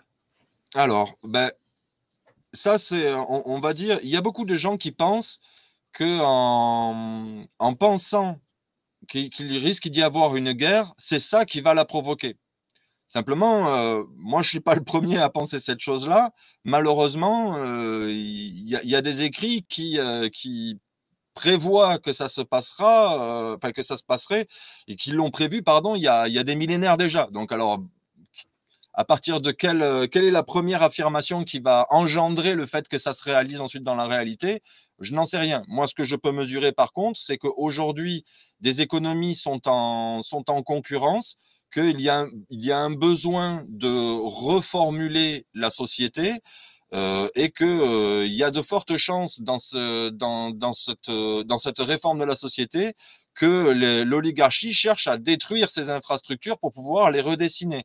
Et euh, bon, on a déjà entendu des, acteurs hein, comme, euh, comme Attali dire que euh, ce sera soit, le, soit par un virus, soit par la guerre. Bon, ben, le virus est déjà passé. Il y a des chances que maintenant ce soit la guerre. On voit bien que il y a beaucoup d'acteurs qui sont, qui sont chauds. On parle de, de, de conflits thermonucléaires maintenant. Bon, à partir du moment où je commence à prendre ce genre de, température, la question ne me concerne pas. Ce n'est pas moi qui amène la guerre. Ce sont des, dirigeants qui en parlent bien avant que, que, Joe Masso prenne la parole. Merci Joe. C'est un commentaire de Wallace qui dit c'est Whitney Webb qui a fait un travail de fond incroyable et qui démontre la complexité et la monstruosité de ce type de réseau transnational qui fusionne services de renseignement et mafia. Tout à fait. C'est un des messages les plus, les plus pertinents. Euh, j'encourage vivement à aller voir les travaux de Whitney Webb parce que je, lis souvent certains commentaires qui disent oui, euh, un tel, tout est sourcé, vous, vous n'avez pas sourcé le travail. Bien, euh, je vous invite à aller voir les travaux de Whitney Webb sur lesquels moi je me suis, je me suis appuyé et je n'en ai couvert qu'une toute petite partie parce que Whitney Webb, elle a, sorti un livre qui fait 900 pages et qui, explique un petit peu toutes ces, toutes ces connexions entre mafia, services secrets et toutes ces affaires de réseau de chantage. vous allez voir que c'est extrêmement documenté. C'est quelqu'un qui, qui, a une très bonne réputation, hein, Whitney Webb. Vous pouvez aller la retrouver sur, sur Twitter, sur X. effectivement, Whitney Webb a fait un travail de fond absolument incroyable et euh, qui, démontre tout à fait euh, les connexions dont je parle dans la, dans la troisième partie de, ma conférence. Donc merci à Wallace d'avoir rappelé cette chose-là. Euh, si ça n'avait pas été fait, je l'aurais fait moi-même. Merci Joe. On continue. Vous inquiétez pas, hein. après ce sera des questions de vous, le public, en direct. Donc là, on arrive à peu près à la moitié des questions sélectionnées. Euh, une question de Tania qui dit Vous me faites bien rire avec votre opposition contrôlée. Vous êtes la quintessence de cette opposition. Et j'ai mis ça en lien avec Jeff, parce que pour moi, c'est des questions qui sont tellement proches que voilà. Mais je montre qu'on a sélectionné les questions et, qu'on vous donne la parole aussi à travers ce premier temps d'émission. Opposition contrôlée égale décourager les gens et leur faire croire que tout se vaut et qu'il est finalement inutile de se battre ou même d'espérer. Que dire? Bah, tu l'as un petit peu résumé dans, ton, dans ton introduction. Hein. Euh, comment comment est-ce qu'on décourage les gens en, leur disant peut-être ne, ne, reposez pas tous vos espoirs sur cette personne-là Je crois que c'est plus une redirection d'espoir qu'un euh, anéantissement d'espoir. Euh, moi, je dis aux gens, les gens ont de l'espoir. C'est chacun arrive avec sa dose de foi entre guillemets. Hein. Et ensuite, ben, cette fois, il faut la miser dans quelque chose qui soit pérenne. Donc moi, ce que j'ai tendance à, j'ai tendance à miser euh, dans des choses euh, qui sont sûres à mes yeux, c'est-à-dire ben, ce qui va éventuellement me nourrir, me couvrir, me tenir au chaud et ce genre de choses. Euh, je, vais, je vais miser sur tout ce qui va me, m'élever spirituellement, me faire comprendre un maximum de maximum de choses, pardon. Et voilà, c'est sur ça que je vais baser ma foi. Je ne vais pas baser ma foi sur une personne, euh, surtout quand je commence à voir que cette personne fait, dit des choses, fait un peu son contraire et qu'on n'est pas vraiment sûr d'avoir un suivi objectif de, ce que cette personne fait. Donc, on me, parle d'opposition contrôlée. Cependant, je, tiens à rappeler que depuis quatre ans, j'ai un, discours qui est critique à l'égard de Trump, critique à l'égard d'Elon Musk et, éventuellement de Poutine. Depuis ces quatre ans, à chaque fois que j'ai formulé une, critique, nous avons eu des gens arriver dans les commentaires et nous dire que nous étions l'opposition contrôlée. Mais moi, je n'étais opposé à personne du public. Je ne fais que critiquer un acteur politique. Comme euh, si, je critiquais un acteur politique en France, est-ce que les gens viendraient me dire euh, tu es une opposition contrôlée? Je, trouve ça complètement disproportionné. J'invite vraiment tout le monde à se renseigner, à se dire est-ce qu'on peut critiquer un acteur politique sans être considéré comme une opposition contrôlée? Moi, a priori, euh, je n'ai fait que je n'ai fait que proposer une critique que j'invite chacun à la faire personnellement, cette, critique. Et on peut tout à fait dire, bon, ben non, il n'y a rien à dire sur, sur Trump, il va très bien et tout ça. Libre à vous. Ce n'est qu'une une demande de critique. On a vu les réactions. pour moi, ça me donne, ça, me conforte dans ma démarche parce que j'ai vu effectivement que les messages étaient extrêmement passionnés et pour moi, c'est là où je ressens l'opposition, effectivement. Les gens ne sont pas venus en me disant Ah oui, peut-être, euh, c'est vrai que sur ce détail-là, Trump, euh, ce c'est pas évident. Les messages étaient quand même, très passionnés. On continue donc avec un commentaire de Nanou qui nous dit Yvonne Barr était, était une virologue irlandaise et Anthony Epstein, virologue pathologiste, d'où le nom le virus du nom Epstein-Barr, découvert en 1964. Bill Barr et Jeffrey Epstein qui donnent le nom à un virus. Faut pas trop pousser quand même. Alors bon, ça c'est euh, un peu typique des personnages qui entendent euh, des affirmations et qui vont les prendre très différemment de comment vous, êtes, comment vous les avez amenées. C'est-à-dire que moi j'arrive avec cette information, c'est un trait d'humour. Le fait de dire qu'il euh, y a une connexion entre Jeffrey Epstein et, et Donald Barr, et euh, de dire que curieusement, euh, il, existe un herpès qui s'appelle euh, le, Epstein-Barr. Je trouvais ça je trouvais ça juste anecdotique de le, de le, dire à ce moment-là, mais à aucun moment j'affirme que le virus s'appelle comme ça à cause d'eux. C'est, je n'ai jamais dit ça. C'était vraiment de l'humour. On continue avec une question de curiosité. Malgré, la proximité d'un avocat véreux auprès de Trump, Epstein et la fille de Robert Maxwell sont tombés sous son mandat. Mais il n'a pas libéré Assange, par exemple, ni même pris de décisions déterminantes pour, à minima, améliorer son sort. Trump a vendu au peuple américain que les injections génétiques chargées de nanotechnologie étaient sûres et efficaces, ce qui n'était pas le cas. Et ce Trump avait les moyens de savoir, par exemple. Au contraire des prétendus démocrates américains, Trump avait défendu la liberté du choix des injections ou pas. Trump n'a pas poussé à la censure sur les réseaux sociaux, il a en revanche subi par une censure de Twitter sous contrôle étroit des forces anti-libérales, anti-liberté démocratique sur le sol américain et l'imposture autoproclamée démocrate et progressiste. Combien de guerres déclenchées dans le monde durant le mandat de Trump? En comparaison des précédents présidents Parler de complosphère, c'est se signaler politiquement dans un camp particulier. Ça fait beaucoup d'infos, peut-être. Euh, tu vas peut-être pas pouvoir répondre à tout, évidemment. Oui, ben, je vais essayer, de, je vais essayer de, le prendre à la volée. Donc, euh, on nous dit voilà, que Trump a arrêté euh, Epstein. Sauf que ben, la, sortie de l'histoire, c'est quand même que Epstein, le principal, le principal accusé, ben, il est mort et on ne sait même pas dans quelles circonstances. Donc déjà, moi, je suis très peu satisfait de cette chose-là. Euh, concernant Assange, oui, bah, c'est très juste. Euh, Assange, a priori, il, n'a absolument jamais essayé de le, sauver. Bon, bah, il y a beaucoup de gens qui se posent des questions là-dessus. Pour eux, ça restera un mystère et euh, personne, ne va vraiment tirer les conclusions de ça. C'est-à-dire, est-ce que Trump a vraiment un intérêt à ce que Julian Assange sorte? On va nous dire oui, mais c'est parce qu'il révélait des informations de l'État américain. Oui, mais Maintenant que c'est fait, qu'est-ce que, ça change? Est-ce qu'on est pour la liberté ou est-ce qu'on est pour la défense d'intérêts, de, je ne sais pas comment dire, mais euh, parce que euh, monsieur aurait critiqué l'État, euh, alors ben, on, va, le garder enfermé. Je ne comprends pas ce genre de raisonnement. Pour moi, effectivement, il y a, un problème. On voit bien que tout ne va pas forcément dans, un bon sens. Ensuite, on nous parle de, des guerres sous son mandat. Donc, effectivement, moi, je suis prêt à. Il n'y a, aucun problème pour euh, constater qu'effectivement, il y aurait moins de guerres sous le mandat de, Trump que euh, de, ses prédécesseurs. Le problème, c'est que pendant le mandat de, de, Trump, une guerre a été prise contre, les, contre le sang même de, sa population. Donc là, c'est juste pas le même genre de guerre. Il y a aussi une guerre de l'information qui a été entreprise. C'est juste pas le même genre de guerre. C'est juste que j'ai l'impression que à partir de Trump, c'est littéralement le complexe militaro-industriel qui fait la guerre au peuple. En tout cas, moi, c'est moi, c'est ma lecture. Chacun peut en penser ce qu'il veut ensuite. Voilà ce que j'aurais à dire là-dessus.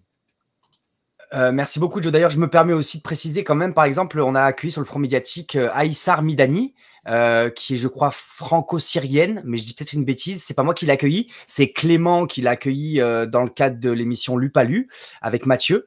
Et donc, euh, ils l'ont interviewé. Elle a fait des émissions toutes les trois semaines sur le sac des volontaires autour de la situation en Syrie. Et par exemple, ce qu'il faut savoir, c'est que sous le mandat de Trump, je ne prends qu'un exemple parmi d'autres. Hein, J'aurai aussi des exemples sur le Venezuela et tout. Mais en Syrie, en fait, il y a des bases américaines sur le sol syrien, alors que la Syrie parce que ça, c'est quand même un pays indépendant reconnu euh, par le droit international. Et bien actuellement, il y a l'armée américaine qui est présente sur le sol syrien, qui exploite du pétrole et du gaz en Syrie sur un territoire qui n'est pas le leur, avec des troupes et qui sont donc euh, dans une ingérence, dans un colonialisme de terre qui n'est pas les leurs. Et par exemple, Trump n'a pas fait partir l'armée américaine de Syrie. C'est juste un exemple. Hein. C'est pas une guerre. La guerre a commencé avant en Syrie, évidemment. C'était 2012 ou 2011 le début de la guerre en Syrie. Mais pour autant, eh bien en fait, il y a quand même des, des, des forces armées euh, états-uniennes présentes sur un territoire étranger sans autorisation du pays, euh, de manière illégale par rapport au droit international, et ça n'a pas changé sous le mandat de Trump. Voilà, juste, c'est pas suffisant comme exemple, mais j'en aurais d'autres, mais on n'a pas le temps. Tout à fait. Je rejoins tout à fait euh, cette analyse. Aïssar Midani sur le front médiatique, elle est passée il y a à peu près six mois, je crois. Euh, j'ai oublié de te remercier j'ai oublié de te remercier, Joe, de nous faire partager tes recherches et même si ça crée une dissonance cognitive, quelque part, ça remet un peu l'église au milieu du village. Il est toujours bon de s'interroger et de douter dans ce monde. C'est Patrick qui commentait ça. Ben, merci, euh, merci à Patrick. Euh, il dit quelque chose d'intéressant quand il dit ça remet peut-être l'église au milieu du village. Alors, euh, précisément, il y a le terme église et il y a le terme village. Je vais je vais me faire comprendre. Église, ça vient du latin ecclesia, qui, veut dire assemblée. C'est exactement le même terme pour synagogue ou ouma. Il s'agit du mot assemblée. Donc, remettre l'assemblée au milieu du village, c'est précisément ce que, préconise Jésus. C'est-à-dire, le village, c'est la cité, la cité céleste. Remettre l'église au milieu du village, c'est remettre l'assemblée des hommes au cœur de la cité. Et c'est complètement mon discours. Lorsque je parle de, citoyenneté, je précise que c'est dans le cadre de la cité. Quand je parle de politique, je précise que c'est dans le cadre de la police, donc euh, la cité, la ville fortifiée. Eh bien, je suis tout, à fait d'accord avec ça. Euh, l'intérêt, c'est effectivement de rassembler les gens dans leur village pour qu'ils s'organisent ensemble. C'est ce que j'appelle mettre l'église au milieu du village, avec, en plus de ça, une notion spirituelle où là, bon, on va peut-être pas rentrer dans des, dans des questions, euh, dans des questions trop, trop théologiques, mais euh, je suis tout à fait d'accord avec ce, ce, message, qui est plus éclairant qu'il en a l'air encore. Yes, merci. Donc là, c'est plutôt des commentaires plus positifs hein, par rapport au début. Excellent, continuez votre travail de collaboration avec Joe Masso. C'est inédit comme démarche et surprenant de comprendre jusqu'où va la programmation. Merci encore à vous deux pour la documentation illustrant vos propos, très bien menée. À quoi une présentation de ton interprétation du livre de vidéo? Alors, ben, moi, je ne pense pas vraiment faire euh, de l'interprétation euh, à mon nom du, livre de vie. Euh, j'y ai fait référence lors de ma précédente interview il y, a, il y, a, un an sur la chaîne ICTV. Euh, c'est une piste que je donne aux gens parce que pour comprendre à peu près moi euh, ce qui m'a amené déjà à, considérer Dieu, à considérer Jésus et, la spiritualité dans un sens plus plus traditionnel en termes d'œuvre de l'Éternel, les Écritures et toutes ces choses là. Euh, je je pense pas euh, je pense pas vraiment faire euh, une série de vidéos là-dessus. J'ai une chaîne euh, où je parle de spiritualité, où j'aborde certaines certains thèmes sur sur Telegram qui s'appelle Transmission orale, mais ce sera pas forcément l'essentiel de enfin c'est pas forcément l'essentiel de mon travail. mon travail, il est quand même beaucoup plus dans la je l'espère dans la vie réelle. Et, et voilà. Donc pour l'instant, je dirais juste ça. C'est le livre de vie euh, de, l'agneau, éventuellement pour les personnes qui veulent savoir d'où vient ma pensée. Et euh, j'ai pas spécialement besoin de faire euh, d'interprétation. Ce, livre se, passe assez bien d'interprétation. Merci Joe. Allez, encore 3-4 questions. Après, on va passer euh, à l'analyse de la vidéo de Se rêver, s'informer. Et enfin, on vient vers vous, les commentaires en direct. Donc là, c'est un commentaire de Frédéric. Bonjour, ça fait plaisir de voir des jeunes prendre le relais. Étant fils de résistants déportés, je baigne dans l'histoire que nous traversons actuellement depuis mon adolescence. Nous avons essayé au fil du temps d'éveiller autour de nous, mais personne ne voulait entendre. C'était très compliqué. Félicitations à Joe pour son remarquable travail. Espérons que les consciences s'éveillent. Merci à vous. Merci à tous, pardon. Eh bien, merci aussi pour ce, pour ce message. Oui, je pense qu'on découvre, euh, je pense qu'on découvre ce que ça voulait dire. On a appris dans les livres d'histoire hein, qu'il y avait eu euh, de l'autocensure, de la censure et ce genre de choses dans les précédentes séquences guerrières de l'histoire. Et je crois qu'on découvre aujourd'hui dans une configuration qui est très nouvelle parce que c'est avec Internet, mais je, je crois qu'on comprend beaucoup mieux aujourd'hui comment ces choses-là s'installaient. Et donc, ben, J'espère, j'espère que, j'espère en tout cas que euh, nos, actions mèneront le plus de gens à prendre leur disposition, ce que je considère être euh, une étape de, résistance, effectivement. Je, le souhaite de tout cœur, en tout cas. Euh, on répondra aux questions de Jocelyn. Vous inquiétez pas, Jocelyn, tu peux poser tes questions. Il était très actif aujourd'hui depuis quelques jours sur le front médiatique sur Telegram. merci pour cette. Donc là, c'est Charivari. Merci pour cette super conférence. J'ai beaucoup appris. Je pense qu'il n'y a aucune raison pour que la, la polarisation et Est-Ouest, monde unipolaire, monde multipolaire type BRICS, échappe au but final qui est l'asservissement de l'humain et le transhumanisme. Mais pour le moment, il reste compliqué d'étayer fortement cette intuition. À suivre. Euh, je ne crois pas que ce soit compliqué hein, d'étayer cette intuition parce que ben, Bon, on l'a vu euh, par, rapport à, par rapport à Warp Speed qui laisse complètement la porte ouverte. on a ouvert la boîte de Pandore pour les, pour les, pour les produits euh, dits de contre-mesure. Euh, derrière, il y a Biden qui fait euh, son, son espèce de. Enfin, il, légifère sur tout ce qui est biotechnologie, bionanotechnologie et compagnie. On voit bien qu'on a mis un pied là-dedans avec la politique américaine, mais on s'aperçoit qu'au même moment, c'est exactement la même chose qui se, qui se passe euh, en Russie. Euh, donc, allez voir les, les dernières vidéos avec Isabelle et Stéphane sur ICTV qui traitent le sujet de manière assez, assez technique je crois que c'est difficilement contestable. Euh, et, évidemment, bon, la Chine ne nous avait pas attendu. Hein. Ils, sont, ils, sont bien sûr très en avance sur euh, toutes, ces, toutes ces questions de quatrième révolution industrielle. Euh, donc, je crois que c'est pas compliqué d'étayer fortement cette intuition. C'est que les choses sont déjà en cours et que ce soit BRICS, que ce soit OTAN, que ce soit, euh, quel que soit l'organe de pouvoir, ils vont avoir tous plus ou moins les mêmes, euh, les mêmes dynamiques, les mêmes objectifs et les mêmes méthodes pour y arriver. C'est-à-dire, on va vers un capital de surveillance. Ce capital de surveillance va s'appuyer sur, certaines, euh, sur certains concepts spirituels et euh, on se retrouve avec toujours plus ou moins les mêmes configurations. Donc euh, voilà, capital de surveillance avec euh, révolution industrielle qui va utiliser les dernières technologies et qui va essayer de se faire une place sur la scène spirituelle mondiale, si possible, si possible avec un avec un pignon sur rue à, Israël. Bon, désolé de parler comme ça, mais enfin, on voit que c'est quand même toujours un petit peu au centre.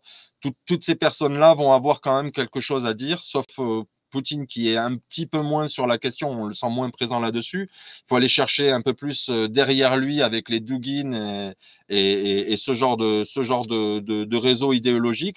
Mais on voit qu'il y a quand même toujours plus ou moins les mêmes projets qui se, qui se dessinent. Mais ce n'est pas, une, pas une intuition, c'est quelque chose qu'on peut tout à fait observer.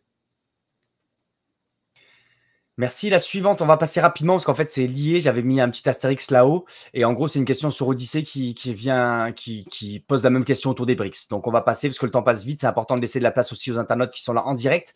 Donc, euh, là, il y a deux petits posts. Tu avais sélectionné une dizaine de points sur euh, la vidéo, euh, l'analyse de ce rêve et s'informer.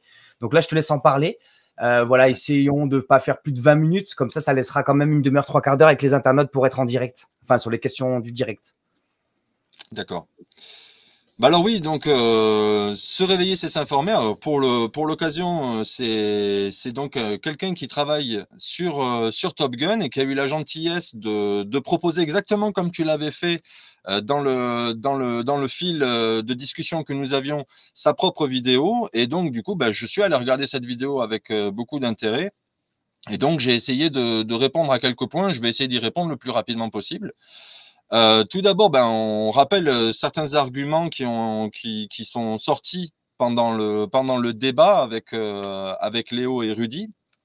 Donc, à savoir, bon, ben voilà, c'est le, fameux, le pré-pacte. Donc, sur le coup, effectivement, moi, j'avais fait une, imprécision. Hein. Parce qu'en réalité, c'est vraiment Robert Kadlec qui est tombé sur la responsabilité du rôle d'intermédiaire de, gestion de crise entre le gouvernement et les Américains. Mais alors, il y a tout un, appareil hein, qui s'est mis en place à ce moment-là, qui est un petit peu compliqué, qu'on ne peut pas résumer de façon, euh, de façon extrêmement euh, rapide. Mais en gros, c'est en vertu de la loi Stafford que le président a remis la responsabilité sur ceux qu'il avait nommés à la HHS, à la FEMA et à la SPR, mais au final, le pouvoir décisionnaire, il était conservé au stade du NSC, présidé par Trump, et surtout, il a mis en place le dispositif qui a permis cette percée du complexe militaro-industriel, à savoir avec le DOD, la BARDA et d'autres organismes du, type, qui ont utilisé le terme juridique de contre-mesure Covid pour permettre l'émergence des produits suspects. Donc la HHS et la, FEMA euh, qui ont été mis dans le rôle de communicatif. Hein, euh, c'est eux qui, faisaient vraiment l'intermédiaire pour faire toute la communication. Il y a eu le DOD qui était en charge. Et donc, euh, pour comprendre vraiment toutes ces choses-là, je conseille encore une fois, désolé de, vous ramener à mes sources, hein, mais d'aller visionner l'ensemble de la vidéo de Sacha Latipova pour saisir les notions chronologiques de toute cette affaire et les rôles qui ont été distribués euh, qui ont, été distribués pour tous les acteurs en fait qui étaient en charge de cette crise. Donc je reconnais facilement mon erreur hein, lorsque je dis que Trump avait signé la loi pré-pacte. Euh, cependant, il a bien déclenché le dispositif. Il a mis les lobbyistes, des, des, gars qui étaient réputés être lobbyistes, hein, aux commandes de la HHS, de la FEMA, euh, de la SPR, dont l'ancien directeur de la biodéfense à la Maison Blanche et assistant du président euh, Bush pour la politique de biodéfense, directeur adjoint du comité spécial du Sénat, américain sur le renseignement, et alors nommé par euh, Donald Trump comme secrétaire adjoint à la préparation et à la réponse, la SPR. Euh, donc c'est un, un, bureau au sein de la HHS. Hein. Et donc là, je parle de Robert Kadlec, qui a précisé le texte concernant les produits de contre-mesure afin de les protéger juridiquement. Le papier est signé par Alex Hazard, euh, qui est aussi une personne qui a été mise en place par Trump, Hein, il l'a nommé secrétaire à, la santé aux services sociaux, donc la HHS. Et donc, toutes les personnes concernées dans cette affaire, c'est Trump qui les a mis en place. Que, ce soit, que ce soit la SPR, que ce soit la, HHS, que ce soit Robert Kadlec, Alex Hazard, Scott, Gottlieb, enfin bref, c'est vraiment toutes les personnes qui ont été mises en place. Donc, qu'est-ce qu'on qu'est-ce qu'on devrait dire? C'est quand même pas de chance. Trump, il, enclenche un système et il, met en place toutes les personnes qui vont faire marcher ce système. Et derrière, il faudrait dire que ce n'est pas la faute de, de, Trump, ou en tout cas qu'il n'avait pas de visibilité. C'est extrêmement, c'est extrêmement étrange. Euh, à partir du moment où il déclenche ce, système, euh, ce système d'urgence, il ouvre la boîte de Pandore. Et il n'y a, plus rien pour, l'arrêter. Aujourd'hui, euh, l'état d'urgence, il est prolongé par Xavier Becerra, on sent bien que de toute façon, tout est aligné sur, les recommandations de l'OMS et il y a peu de chances pardon, que ça change. Donc voilà, la boîte de Pandore, elle est ouverte. C'est bien Trump qui l'a ouverte. Et euh, voilà, il y a, sur, cette question de, pré-pacte, voilà comment moi je résumerai un petit peu la, situation. Donc, ensuite, pour continuer, à propos de, de Warp Speed, il donne l'argument selon lequel Warp Speed a, a généré une offuscation qui, aurait été voulue par Donald Trump. C'est-à-dire, on enclenche Warp Speed pour que euh, les, les anti-vax, d'un coup, se coalisent et euh, émergent, comme, et émergent comme ça.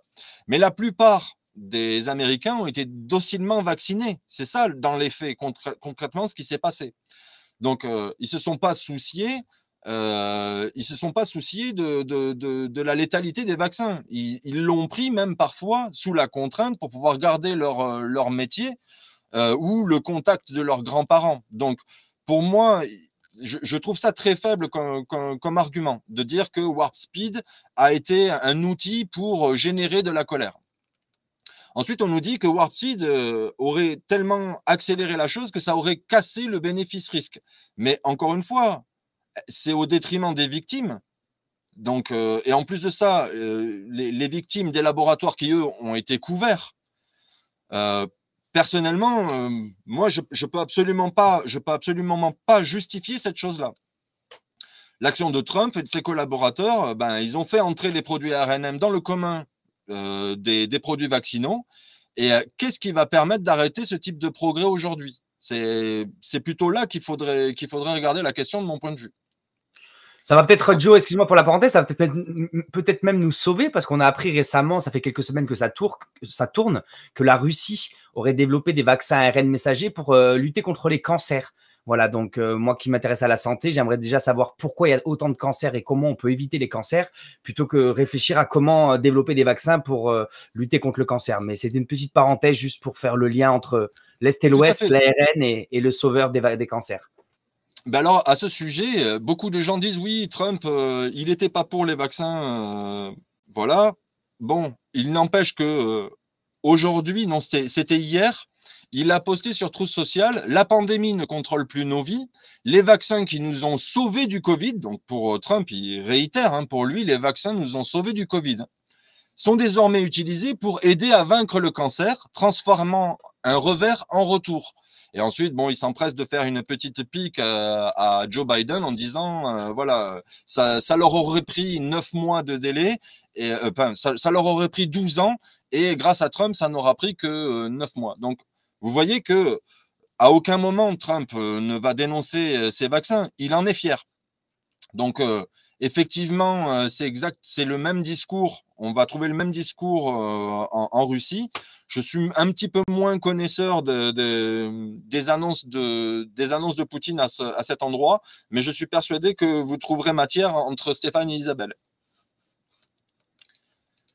Donc ensuite, on nous a dit euh, aurait permis de dévisager les plans qui jusque-là n'avançaient que pas à pas et euh, qui n'avançait donc du coup que sournoisement et moins franchement qu'avec cette euh, opération d'accélération. C'est-à-dire en gros, on nous dit que euh, le nouvel ordre mondial, jusqu'à présent, il avançait petit pas à petit pas et c'était suffisamment lent pour que les gens ne se rendent pas compte de ce qui se passe et que grâce à Trump, il a tellement précipité les plans que d'un coup, c'est apparu à tout le monde. Sauf que historiquement, hein, moi je me rappelle euh, de, gens qui avaient euh, dénoncé toutes ces choses-là bien avant que Trump n'arrive au pouvoir. Euh, aujourd'hui, si on écoute certains, certains hein, des, QAnon, pas tout le monde, hein, certaines personnes qui suivaient le, mouvement, le mouvement QAnon ou en tout cas qui, décryptaient les, Q-drops ou qui sont en soutien, qui étaient en soutien à Trump, vont nous dire que avant Trump, personne ne connaissait les, réseaux. Euh, alors qu'on a quand même beaucoup, il y avait quand même énormément de monde sur, ce, sur ces sujets-là, et depuis, euh, très longtemps.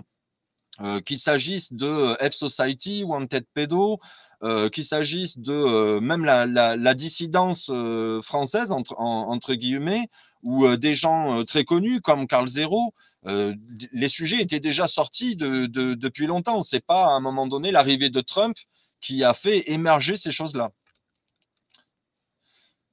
Donc ça, c'est une première chose qu'on pourrait dire. Ensuite, on, nous parle de voilà le but d'éveiller de la psyop Q. Alors là, c'est assez ambigu parce qu'effectivement, euh, je suis bien obligé d'admettre, et je le reconnais euh, sans, problème, que euh, le fait que QAnon pose, enfin que Q pose des questions, va obliger les internautes à aller se renseigner sur certains sujets. Cependant, ces sujets-là, pour une bonne part, avaient déjà leur réponse à, travers les différents annonceurs qu'il y avait sur la toile. Et en plus de ça, le problème, c'est est-ce qu'à un moment donné, on empoisonne le pluie? C'est-à-dire, si c'est fait à dessein pour mettre tous les espoirs derrière une personne, moi, je suis obligé de dire, euh, il y, a, un problème. Ça devient critiquable à partir de là. Et mon rôle a été juste de dire, faites attention avec les vérités qu'on vous donne, parce que si c'est pour servir un but, si c'est une instrumentalisation, alors à ce compte-là, on est en droit de, le remettre en question. Je ne dis pas de tout jeter, je dis juste de poser des questions et de peut-être pas se laisser embarquer euh, trop facilement. Donc ensuite, on va nous dire les plans des relations et les réseaux liés à la pédocriminalité et Trump euh, que je ferai un, que j'accuse par association et qu'effectivement fréquenter ne prouve pas le niveau de complicité. Et on me dit ensuite que j'accuserai Trump de pédocriminalité. Alors déjà, je tiens juste à préciser là-dessus, euh, non, moi ce que je montre, c'est que le réseau Roycon euh, le réseau de chantage a profité à Trump, manifestement. C'est-à-dire que lui, il n'a pas besoin de se compromettre dans de la pédocriminalité à partir du moment où c'est peut-être lui qui bénéficie du carnet pour faire chanter d'autres personnes. C'est-à-dire que peut-être que derrière lui, on se sert de ce carnet pour déterminer l'ordre du narratif qui, qui nous est servi ensuite derrière. Donc, voilà, c'est plus subtil, c'est plus subtil que d'arriver et de dire Trump est un pédocriminel. Non, je, ne pense pas. Je dis que la pédocriminalité peut être un outil dans sa main. Ensuite, on, me dit que voilà, il suffit que Epstein sous Trump, il suffit que Trump ait été menacé par Epstein pour qu'il souhaite l'éliminer. Ce que je veux dire par là, si on ne connaît pas les histoires internes. On ne sait pas pourquoi euh, Epstein est mort. Si à un moment donné, Epstein avait voulu se retourner contre Trump, qu'est-ce qui. Ça, pourrait expliquer pourquoi Trump, à un moment donné, se charge d'Epstein et le fait disparaître en prison? Vous avez ce genre d'hypothèse que personne ne peut, ne peut connaître tant qu'on ne connaît pas la vérité et qui servent de garde-fou pour pas rentrer dans une conclusion trop hâtive, c'est-à-dire Epstein se fait arrêter sous Trump, donc Trump est contre la pédocriminalité. Je crois qu'il faut sortir des raisonnements simplistes, essayer d'imaginer que parfois, il va y avoir des raisons que personne n'avait anticipées et qui, qui, voilà, par prudence, il ne faut pas s'embarquer dans une conclusion trop, trop, trop hâtive. Ensuite, on nous demande, enfin, dans la vidéo, euh, il précise éventuellement que Maxwell serait la chef et que Epstein n'était pas à la tête. Alors, euh, personnellement, je ne peux pas répondre à ce genre de questions. Euh, ce que je vois, c'est qu'effectivement, Maxwell, c'est une personne qui, a eu un certain pouvoir, qui aujourd'hui est inquiété. Je, je, ne peux pas vraiment faire confiance à la justice pour tout ce qui est raconté. Et je ne peux pas non plus dire qui est chef dans cette histoire. C'est comme ceux qui me disent euh, euh, les États-Unis sont pilotés par Israël. Euh, comment vous pouvez savoir que c'est dans ce sens-là et que pas et que ce, et que ce n'est pas l'inverse?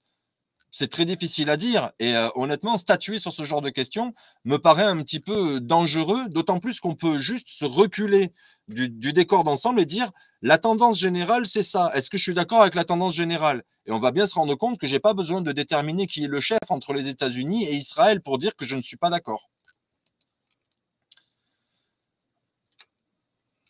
Ensuite, on me, on me dit que le popcorn, c'est pas l'idée de Q, mais que c'est les Anon. Et ça a permis voilà, la création de plein de sites euh, complotistes. Alors euh, oui, peut-être, mais simplement, euh, de quelle nature sont ces sites complotistes? Est-ce qu'on parle de Gézara Nezara? Est-ce qu'on parle de Trump qui serait un envoyé du ciel? Est-ce qu'on parle des White Hats qui seraient des descendants de la lignée christique? Parce qu'on voit ce genre de choses hein, parmi, les, parmi les, sites QAnon. Il y, y en a beaucoup où on va partir dans des, dans des considérations. Je ne suis pas persuadé que ce soit vraiment très objectif parce que moi, on a critiqué ma, ma précision et, je remercie les gens qui sont venus me critiquer. Mais heureusement qu'on ne se charge pas de critiquer la précision de tous les sites QAnon qui sont sortis euh, à la suite de cette PSYOP et qui a généré énormément euh, de, de, fanatisme. Hein. De mon point de vue, je, je pense clairement qu'il s'agit de fanatisme. Ensuite, il y a la, fameuse démarche euh, socratique, c'est-à-dire le fait que Q pose des questions. Oui, mais attendez, euh, poser des questions, on peut poser des questions et orienter les gens uniquement en posant des questions. Euh, c'est un peu facile de dire c'est la méthode socratique. Donc voilà, on met un argument d'autorité avec Socrate, les écrits de Platon, mais ce n'est pas suffisant pour dire que QAnon serait sage de mon point de vue. Même si Je suis bien d'accord que certaines questions, certains Q-drop euh, envoient sur des questions qui, euh, dont, la réponse est cruciale, est importante, et où il n'y a en tout cas, euh, tout, tout, ou en tout cas, il y a de l'intérêt d'avoir attiré l'attention sur ces questions.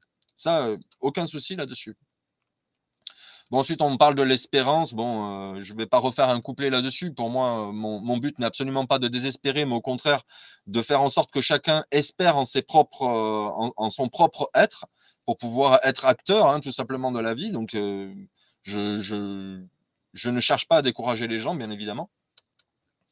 Ensuite, on nous dit Trump se place en agent de paix. Euh, oui, évidemment, Trump ne va pas arriver sur la scène en disant Moi, mon but, c'est la guerre, je compte, euh, je compte déclencher la troisième guerre nucléaire, ce genre de choses. Aucun politicien ne fait, ne fait ça. Euh, en général, on, parle de guerre quand on est au pouvoir et qu'on cherche à défendre des intérêts.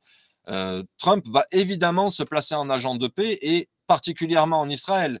les accords d'Abraham, le travail de son gendre Kushner, euh, le but, c'est évidemment de, simuler une paix internationale avec une capitale qui serait euh, donc à Jérusalem. Évidemment qu'il se place en, agent de paix. Euh, simplement, est-ce qu'on est d'accord avec ce genre de paix? Est-ce qu'on est, d'accord? Ben, Moi, personnellement, hein, j'ai beaucoup de mal avec les, avec les gens qui se font passer pour le sauveur des Écritures. Et là, en l'occurrence, on a, on a tout à fait affaire à ce genre de messianisme où même en Israël, hein, les, gens, euh, les gens sont tout à fait euh, d'accord avec cette idée-là. En tout cas, c'est très partagé. Je ne dis, pas dis pas essentiellement par tout le monde en Israël, mais on voit bien que le Sanhédrin euh, est, bien d'accord avec Israël, avec, pardon, avec Trump, qu'on bat des pièces de monnaie à son, son effigie ou on le compare au roi Cyrus. on voit bien qu'on attend beaucoup de ce personnage-là. bon, ben voilà, moi qu'on se, présente en agent de la paix, euh, oui, ça me semble un, petit peu dans la logique de communication de n'importe quel politicien. Cependant, se placer comme agent de la paix en tant que, euh, euh, comment dire, figure messianique, là, par contre, de suite, ça me pose un gros problème et il s'agit de dénoncer dans ces cas-là. Tu voulais dire quelque chose? Non, non, pas du tout. Je t'écoute attentivement. J'ai les commentaires en même temps. Ensuite, euh, concernant le patriotisme national vs le souverainisme local.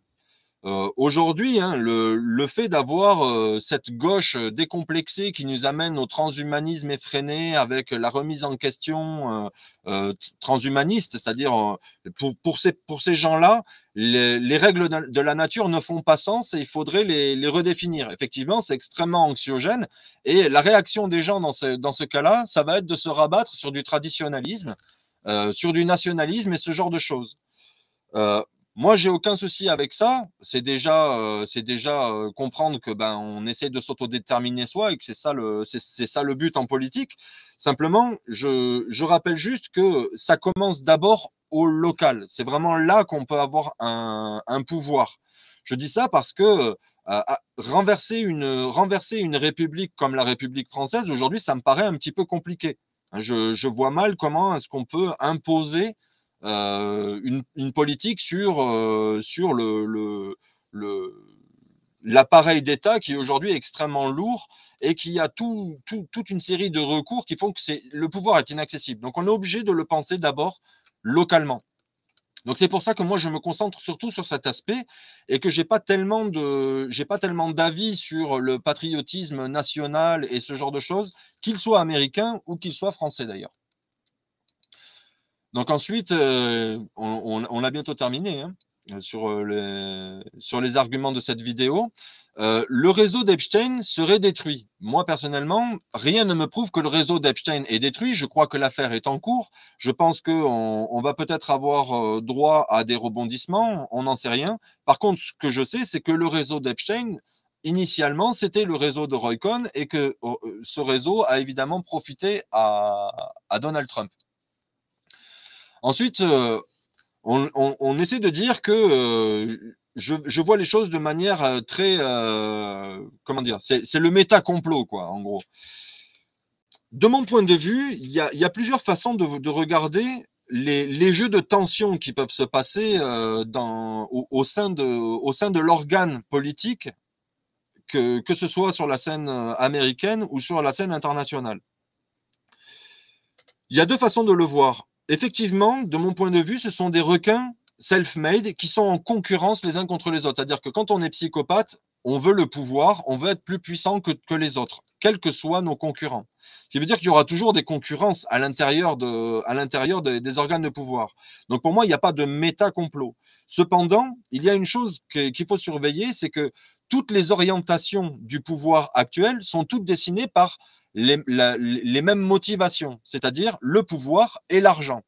À partir du moment où les, les, où les représentants du pouvoir sont dans cette dynamique-là, ils vont tous avoir exactement le même genre de projet, qu'ils soient ensemble ou non. Leurs projets seront concurrents, mais ils se ressembleront. Et c'est pour ça qu'on retrouve chez tout le monde cette idée de quatrième révolution industrielle, cette idée de, euh, surveillance totale, cette idée de, de, nasser tout le monde dans des, réseaux sociaux avec, euh, avec ces histoires de, crédit social.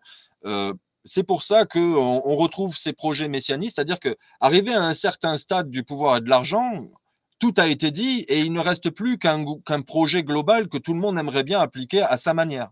Donc, ce n'est pas du métacomplot, c'est la trajectoire historique du capital qui, qui, qui indexe complètement leur projet. Donc, c'est comme ça que, c'est comme ça que j'organise, euh, c'est comme ça que je vois les choses. Mais je n'ignore pas qu'il y a effectivement des concurrences, des compétitions au sein euh, de toutes les, les guerres politiques, et y compris au sein des partis eux-mêmes. Ensuite, euh, on va me. Enfin, non, ça c'est un sujet que j'ai déjà abordé par rapport à Alexis Cossette Trudel qui euh, va avoir tendance à dire que les gilets jaunes euh, ont été euh, une, conséquence de, QAnon. Moi personnellement, je suis pas tout à fait d'accord avec cette idée-là.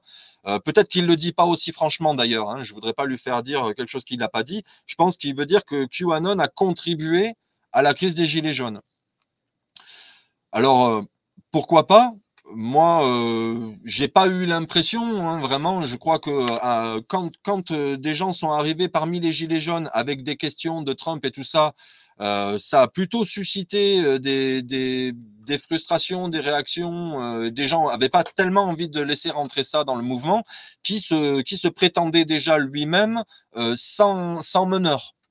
Donc si on dit 100 meneurs, alors à ce compte-là, il peut pas y avoir de, il peut pas y avoir de Trump derrière les, derrière les gilets jaunes. Donc je suis pas tout à fait d'accord avec euh, cette idée-là. Et donc en gros voilà, c'était pour euh, réagir à cette vidéo qui, euh, ma foi, était très respectueuse, assez, assez bien faite et voilà, qui avait le, mérite de, de, questionner mon travail de manière, de manière intelligente. Super, merci beaucoup Joe. Euh, je te propose d'enchaîner, euh, de sauter deux, trois questions que j'avais prévues plutôt euh, spirituelles parce que ça fait déjà 1h30. et donc le but c'est aussi de laisser l'espace pour les internautes qui sont présents ce soir avec nous.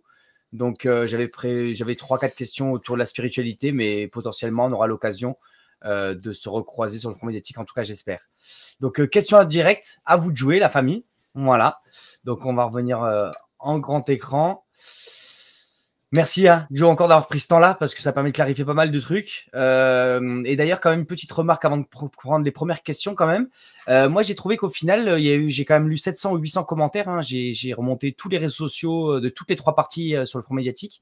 Et euh, j'étais assez surpris qu'il n'y ait pas beaucoup d'arguments euh, très précis euh, ou qui reprenaient point par point des éléments que tu as apportés. sur les 700-800 commentaires, j'en ai eu que peut-être deux ou trois où il disait oui, à ce moment-là, tu dis que lui, il est en lien avec lui ou que lui, il a travaillé là-bas et qu'il a fait ça. Et en fait, il n'y a, pas eu énormément de matière qui venait euh, critiquer, déconstruire euh, des, des, éléments précis que tu as apportés euh, dans tes trois conférences. Voilà, il y a beaucoup de critiques plus globales, un peu comme se réveiller, c'est s'informer aussi sur des, sur des grandes sur des grandes grilles d'analyse, mais très peu de d'éléments précis pointés du doigt, même si évidemment il y a des débats autour de Warspeed, des choses comme ça. Voilà. Donc, euh, on passe aux questions à vous de jouer. Donc, j'ai déjà sélectionné 14 questions. Joe, euh, n'hésite pas, il y a des questions que tu peux passer parce que moi, je ne sais pas les questions que tu trouves intéressantes. Et tu peux aussi sélectionner des questions euh, qui passent dans le chat. voilà. Donc, tout d'abord, une question. Je te les affiche une par une. Hein. tu me dis si tu veux les prendre. Euh, Barlos Baraco qui dit Joe, sur tout ce que tu dis, les liens et les sources, elles sont où? Je veux bien te croire, mais j'ai le droit de voir et comprendre ton analyse, liens et sources.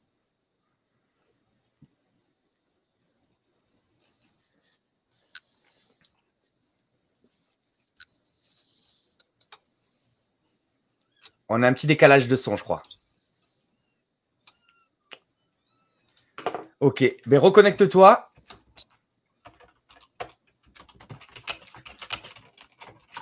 Ouais, si tu peux te reconnecter, Joe, parce qu'on a un petit problème de connexion. Euh, donc, je vais répondre en partie à la question le temps que Joe se reconnecte, euh, en espérant qu'il comprenne. voilà il va revenir, vous inquiétez pas. Donc, euh, précisément pour répondre à la question, c'est Joe qui va mieux répondre que moi, hein, évidemment. Mais en tout cas, chacun des éléments qu'il apporte dans sa conférence, en fait, vous pouvez alors, tout simplement. Ben, alors, je suis désolé parce que il voilà, je l'ai expulsé pour qu'il revienne parce qu'il y a, il y a, on a 45 secondes de décalage, donc c'est, c'est pas possible. Voilà, en tout cas, merci beaucoup à vous d'être là. Euh, je vais laisser Joe répondre, c'est le plus simple. Euh, il revient dans 2-3 secondes. Merci beaucoup. Vous êtes 400 avec nous sur le Front Médiatique, ça fait plaisir.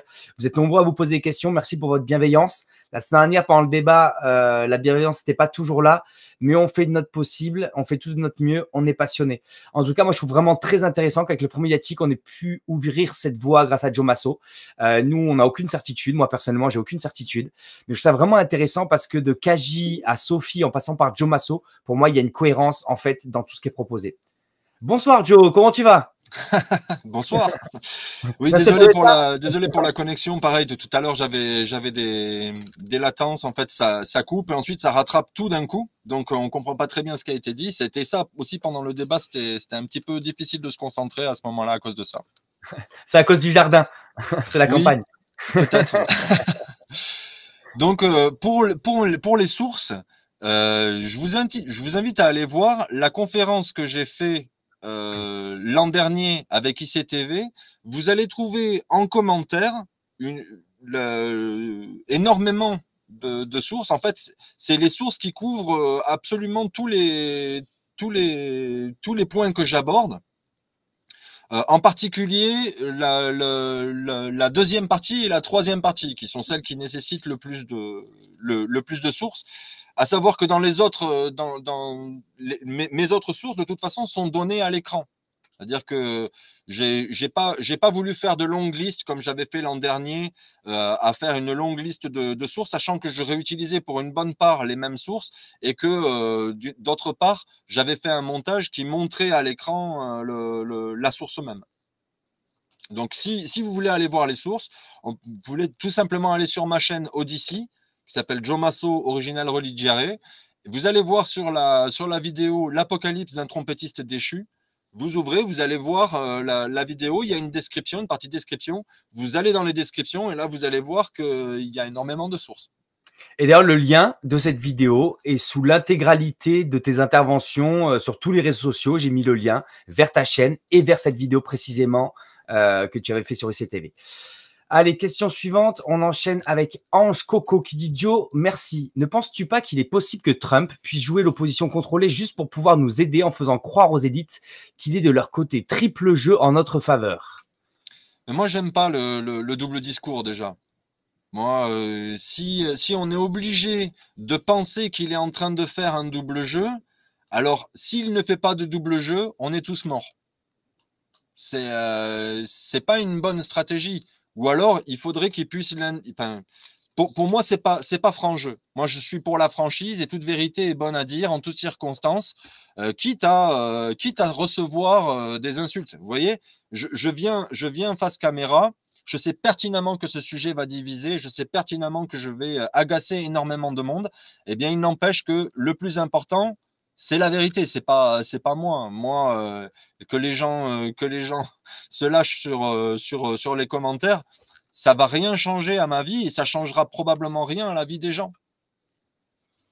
Donc est-ce que est-ce qu'il ferait un triple discours? Moi, je suis désolé, mais j'ai pas envie de rentrer dans ce genre de spéculation.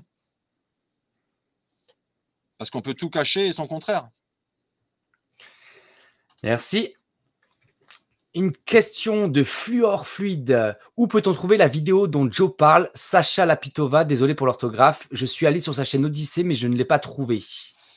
Oui, euh, ben, je peux peut-être éventuellement la, je peux peut-être éventuellement la retrouver. Hein. Ouais, mais le plus simple, c'est que tu, me l'envoies après l'émission, et comme ça, moi, dans, le description, dans, la, dans la description de la vidéo, euh, demain matin, quand je modifie la description, ben, je rajouterai ces liens-là tout simplement. Donc, tout à fait. Flore, je t'encourage à aller demain à partir de 10h sous, dans la description d'une des vidéos de ce soir. Voilà. On enchaîne avec une question de Carole qui dit Joe, crois-tu finalement qu'il y a deux forces opposées qui se font front ou finalement deux oppositions contrôlées? Ben, On a le même projet, quelle que soit la tête d'affiche, entre guillemets. Mais évidemment, les têtes d'affiche sont en concurrence pour gagner le, concours à, la direction du monde, entre guillemets quelle que soit la forme qu'on lui propose, quel que soit le titre qu'on lui propose, voilà, euh, monde multipolaire, euh, euh, nouvel ordre mondial unipolaire, quel que soit le, soit ce qu'on ce qu'on propose comme forme, ils sont tous en concurrence pour le même projet, c'est-à-dire l'hégémonie totale. Donc, est-ce qu'il y a deux forces opposées? Non, il y a beaucoup plus que deux forces opposées. Même au sein des, même dans les rangs de Trump, il y a certainement des forces opposées. Mais au final, ça nous mène au même endroit. Et cet endroit-là, c'est une cage high-tech dans laquelle euh, nos droits vont être soumis à, d'insupportables conditions. Donc, au final, je n'ai pas tellement besoin de prendre parti. Pour moi, c'est une, question de faux dilemme. C'est comme quand on nous propose, voilà, aux élections, euh, deux candidats. Euh, il y en a un qui, y en a un qui sent il y en a un qui sent le, enfin voilà, c'est caca à la fraise contre caca à la myrtille. Vous choisissez entre les deux. Moi personnellement, j'ai pas envie de choisir. J'appelle ça un faux dilemme. Moi, ça me fait penser aussi à une intervention qu'on a vue avec Romain euh, qui a une chaîne d'histoire, qui était passionnant, un historien citoyen, d'ailleurs que je vais essayer de faire revenir prochainement. Euh, il expliquait tout simplement que oui, il y avait des oppositions aussi entre élites, ça veut dire à l'échelle d'une nation, euh, à l'échelle internationale, il y avait des élites qui étaient en, en, conflit les unes avec les autres et qui avaient des intérêts, des, des, des idéologies, des, des, oppositions, mais qu'en fait, le moment où leurs intérêts étaient en danger par rapport à des dominants, à des classes populaires qui euh, potentiellement allaient se révolter ou allaient prendre conscience de, de certains mensonges d'État, etc., mais dans ces moments-là, en fait, ils allaient euh, unir leurs forces parce qu'en fait, ils sont opposés quand euh, ils veulent prendre la place qui est celle de l'autre, mais ils sont solidaires quand ils risquent ensemble ou que l'un d'entre eux est en train de potentiellement perdre sa place. Voilà, donc il y a différents aussi niveaux de d'opposition, enfin de ce que j'avais compris, mais on, le fera revenir, il en parlera mieux que moi. N'hésite pas, Joe, s'il y a des questions qui sont pas intéressantes, tu peux les passer. Celle-là, elle est un peu décalée, mais voilà, je te la propose. C'est une question de Libère le Vivant qui dit Toi qui connais la spiritualité, quand est-ce que le masculin se met au service du féminin pour nous sortir de l'impasse? Bah, C'est une bonne question, mais il faut le voir de manière complémentaire. C'est-à-dire, euh, il n'y a pas que dans ce sens-là. Et, et également, quand est-ce que le masculin se met au service du féminin et que le féminin se met au service du masculin pour sortir de l'impasse? Effectivement, c'est très beau hein, comme, euh, euh, comme commentaire. Eh bien, je vais vous dire, déjà pour ça, il faudrait qu'on retourne vers une vie qui ne soit plus, euh, qui, ne nous détourne plus du temps présent et qui ne nous mette plus en danger. Parce que, encore une fois, hein, moi, si je m'en prends à Trump et à Warp Speed, c'est parce qu'il y a eu, comme le rappelle Stéphane dans les, commentaires, il y a eu énormément de personnes qui ont souffert de tout ça. Donc, une fois qu'on est, une fois qu'on a sorti la tête du guidon, qu'on reconsidère la vie pour ce qu'elle est et qu'on reconsidère nos, rapports, euh, nos rapports sociaux, eh bien, forcément, on comprend très rapidement qu'on ne peut pas s'en sortir seul et qu'il va falloir euh, effectivement nouer du, contact humain. Et en nouant du contact humain, on est obligé de se rappeler de beaucoup de règles de, de bienséance, des règles de vie essentielles, dont font partie les vertus qui permettent à un couple de, persister dans le, dans le, temps. Et donc, évidemment, cette, euh, le, fait de se consacrer mutuellement l'un à l'autre dans, dans, un couple. Mais c'est une vision complémentaire. Merci. On continue avec une question de Ilson qui dit que les gens aient écouté Pierre Hillard. Tous ses travaux sont sourcés. Ils vont comprendre à quel point ils se font trimballer. C'est pas une question, c'est une remarque. Mais voilà, ça me tenait à cœur de la partager tout simplement parce que moi j'ai la chance de connaître, enfin j'ai la chance. Je connais Pierre Hillard depuis plus de 15 ans et euh, évidemment, comme tous les penseurs, je le dis en intro, je suis moins d'accord avec certains aspects de ses analyses, mais on peut pas dire que c'est pas quelqu'un de très académique et très sérieux dans son travail de recherche. Voilà, il a ses biais comme tout le monde, euh, mais en tout cas, c'est puissant sur sa compréhension de toutes les institutions et de toutes les étapes euh, qui sont mises en œuvre pour construire un nouvel ordre mondial, un terme qui d'ailleurs il y a 20 ans était inconnu de nous tous. Hein. Il y a 20 ans, lui, il en parlait déjà depuis longtemps, et euh, moi, il y a 20 ans, je connaissais pas. Voilà, mais on est de plus en plus nombreux à, connaître ben, cette volonté, cette intention de certaines élites à construire un nouvel ordre mondial. Malheureusement, souvent de nombreuses élites aux quatre coins du monde, mais ça, c'est notre débat. Donc, c'est juste une remarque. Un mot sur Pierre Hillard ou pas forcément besoin hein? euh, non, je ne m'exprimais pas sur, euh, Pierre Hillard euh, aujourd'hui, bien que j'aurais éventuellement des choses à dire, mais, je, réserve ça pour plus tard. L'Abga qui dit Désolé, je suis une merde inculte pour moi si Trump m'a fait voir. Donc en gros l'idée, j'ai mis ce commentaire en fait parce qu'en gros l'idée c'est que à travers tes conférences, il y a des internautes qui peuvent se dire moi je me suis réveillé grâce à Trump. J'ai compris qu'il y avait des réseaux pédos, j'ai compris qu'il y avait, euh, euh, enfin voilà, des enjeux de, d'état profond et tout pour faire court. Et donc en fait, Trump, il a été euh, un personnage comme pour moi l'a été Chouard ou, ou Colomb. Et donc en gros, quand aujourd'hui tu viens questionner la sincérité de Trump, en gros cette personne se sent un peu méprisée. Donc je pense c'est important de répondre à ce type de commentaire parce qu'il est revenu plusieurs fois. Et c'est d'ailleurs aussi pas mal de gens qui sont qui aujourd'hui adhèrent énormément au discours euh, de Trump et du plan, c'est aussi des gens qui souvent ont retrouvé espoir grâce à Trump ou carrément ont pris conscience de nombreux mensonges grâce à Trump. Et donc c'est beaucoup plus compliqué au niveau cognitif euh, de pouvoir euh, passer le cap, on va dire. Mais je te laisse donner ton avis là-dessus. Ben, déjà, ceux qui se sont réveillés avec Trump, il y a plusieurs solutions. Ou bien ils, n'avaient pas encore eu l'occasion de, de, se réveiller de certaines, enfin de, de se poser quelques questions sociétales, ou bien c'est parce qu'ils sont jeunes. Parce que, encore une fois, hein, j'insiste, mais euh, avant Trump, tous ces sujets étaient connus. Euh, je ne sais pas depuis combien de temps, euh, depuis combien de temps tu, connais les histoires des réseaux, euh, les, histoires d'occultisme et ce genre de, choses. la, mauvaise volonté des appareils politiques, c'est quelque chose qui est connu depuis, depuis longtemps. les gens qui ont découvert ça à travers Trump vont développer une forme d'affect. C'est là le souci, c'est qu'ensuite on va être reconnaissant de la personne qui nous a réveillés. On a connu ça, nous, il y a, il y a, 10-15 ans en arrière, avec, euh, avec des sites de réinformation en France. Euh, ben, c'est toujours le même souci. Au lieu de, réfléchir sereinement à l'information et dégager de tout affect, on va se mettre à, déifier le, le, communicant. Donc, au lieu de s'intéresser euh, à son message, on va mettre en avant le messager c'est un souci, c'est un souci, que ce soit, euh, Trump ou, n'importe qui d'autre d'ailleurs. Hein.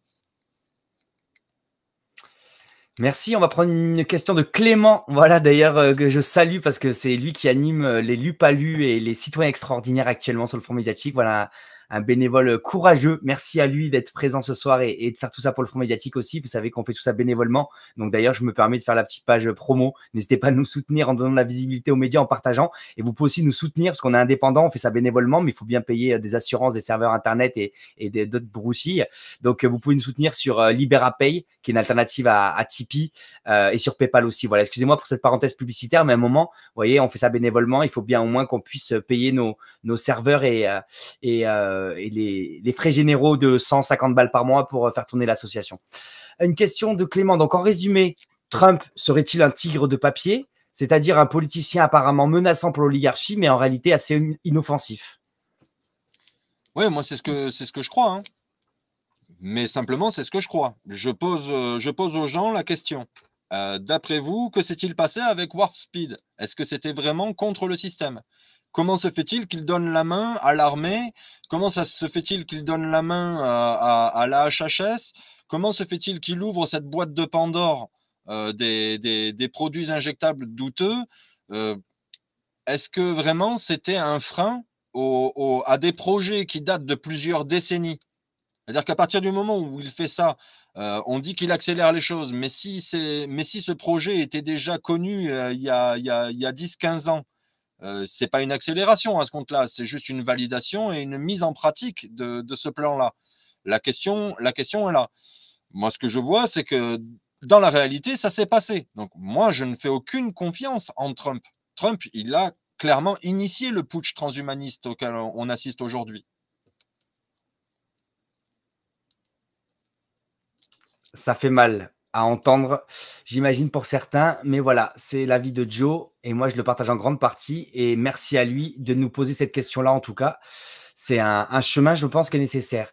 Euh, là, c'est une question pour moi, mais voilà, euh, vu que j'étais assez effacé dans les trois premières émissions, euh, quatre, je me permets quand même de prendre un peu de place ici.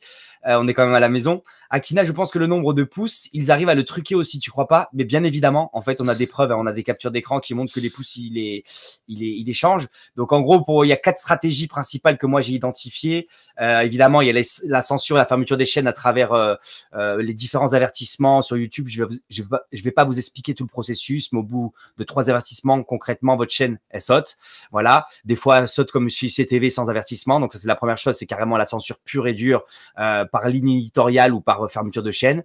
Après, il y a le shadow banning qui est assez connu aujourd'hui. C'est tout simplement, en fait, euh, dans les algorithmes de recherche ou dans la visibilité euh, à travers les notifications, des choses comme ça. Quand vous arrivez sur YouTube ou même sur d'autres réseaux, d'ailleurs, c'est le cas. Et ben, en fait, malgré que vous êtes abonné d'une chaîne et vous n'allez pas forcément voir une vidéo qui est sortie sur cette chaîne-là ou recevoir la notification malgré que vous ayez activé la coche. Euh, après, il y a aussi donc des manipulations au niveau des pouces vers le haut et des pouces vers le bas. Donc ça, c'est une troisième technique qui permet de réduire la visibilité, parce qu'évidemment, une vidéo qui a plus de pouces vers le haut euh, ou plus vers le bas, enfin plus vers le haut, elle va être visibilisée, enfin plus de visibilité et vers le bas moins de visibilité. Donc il, il trafique les pouces. Euh, il y a aussi le trafic des compteurs. Ça veut dire que ça, on a les preuves aussi. On a fait plein de captures d'écran et tout. En gros, ben, des fois, la vidéo, je sais pas, elle est à 4500 vues à midi. Tu reviens le soir à 20h, elle est à 4200 vues. C'est pas possible que la vidéo, elle ait fait moins 300 vues en, en 8 heures, quoi. Et ça, c'est pas, c'est, pas beaucoup. Ils font pas ça par grosse somme parce que nous, on a des petites vues, euh, le front médiatique. Mais en fait, mine de rien, si tous les jours, il t'enlève 100, 200, 300, 400 vues. En fait, au bout de 20 jours, tu as perdu, euh, eh ben, tu fais 20 euh, fois 300, ça fait quand même 6000 vues. Donc, euh, c'est quand même des sommes assez importantes, surtout quand il y a plusieurs chaînes. Et eh ben, en fait, ça fait des dizaines de milliers de vues qui sont enlevées. Et enfin, un dernier truc qui vient d'apparaître récemment, ça c'est vraiment, c'est en exclusivité ce soir sur le Pro Médiatique. D'ailleurs, je connais des YouTubeurs, enfin des, des médias indépendants qui n'arrivent pas à le faire. Vous savez, dans le descriptif YouTube, vous pouvez mettre les chapitrages. D'ailleurs, on l'a fait sur les trois conférences de Joe Masso. Euh, les chapitrages où en fait on marque la durée 0, 0, introduction, euh, 3 minutes 22, euh, euh, jingle, etc. Et en fait, euh, mais quand vous mettez dans le descriptif les durées avec les, les chapitres de l'émission, et eh ben en fait, vous cliquez dans la description sur la durée en bleu et ça vous amène directement à l'endroit de la vidéo. Mais normalement, quand vous mettez ça dans la description, ça génère sur la petite bande de déroulé de lecture, vous savez, où vous voyez euh, la vidéo qui avance euh, au niveau de la lecture. Et bien normalement, ça crée des barres qui ont des épaisseurs différentes. Et quand vous passez votre souris sur une barre, ça vous permet de marquer le nom du chapitre. Et bien nous, il y a encore une semaine, euh, sur les interventions de Kaji et de ben, on avait un chapitrage où on voyait la séparation dans la barre. Et bien là, ça a disparu cette semaine. Donc merci à Joe pour son travail fantastique qui permet à YouTube d'attacher encore un peu plus d'importance euh, à la chaîne du Front médiatique et d'Akina euh, pour euh, continuer à, mettre des petits bâtons dans les roues qui sont pas grand chose. Voilà une petite synthèse un peu de la censure, mais c'est assez énorme. Hein. N'oubliez pas que vous arrêtez pas au chiffre sur une vidéo. Peut-être qu'une vidéo, vous voyez 5 ou 10 000 vues. En fait, elle a peut-être fait 30 ou 40 000.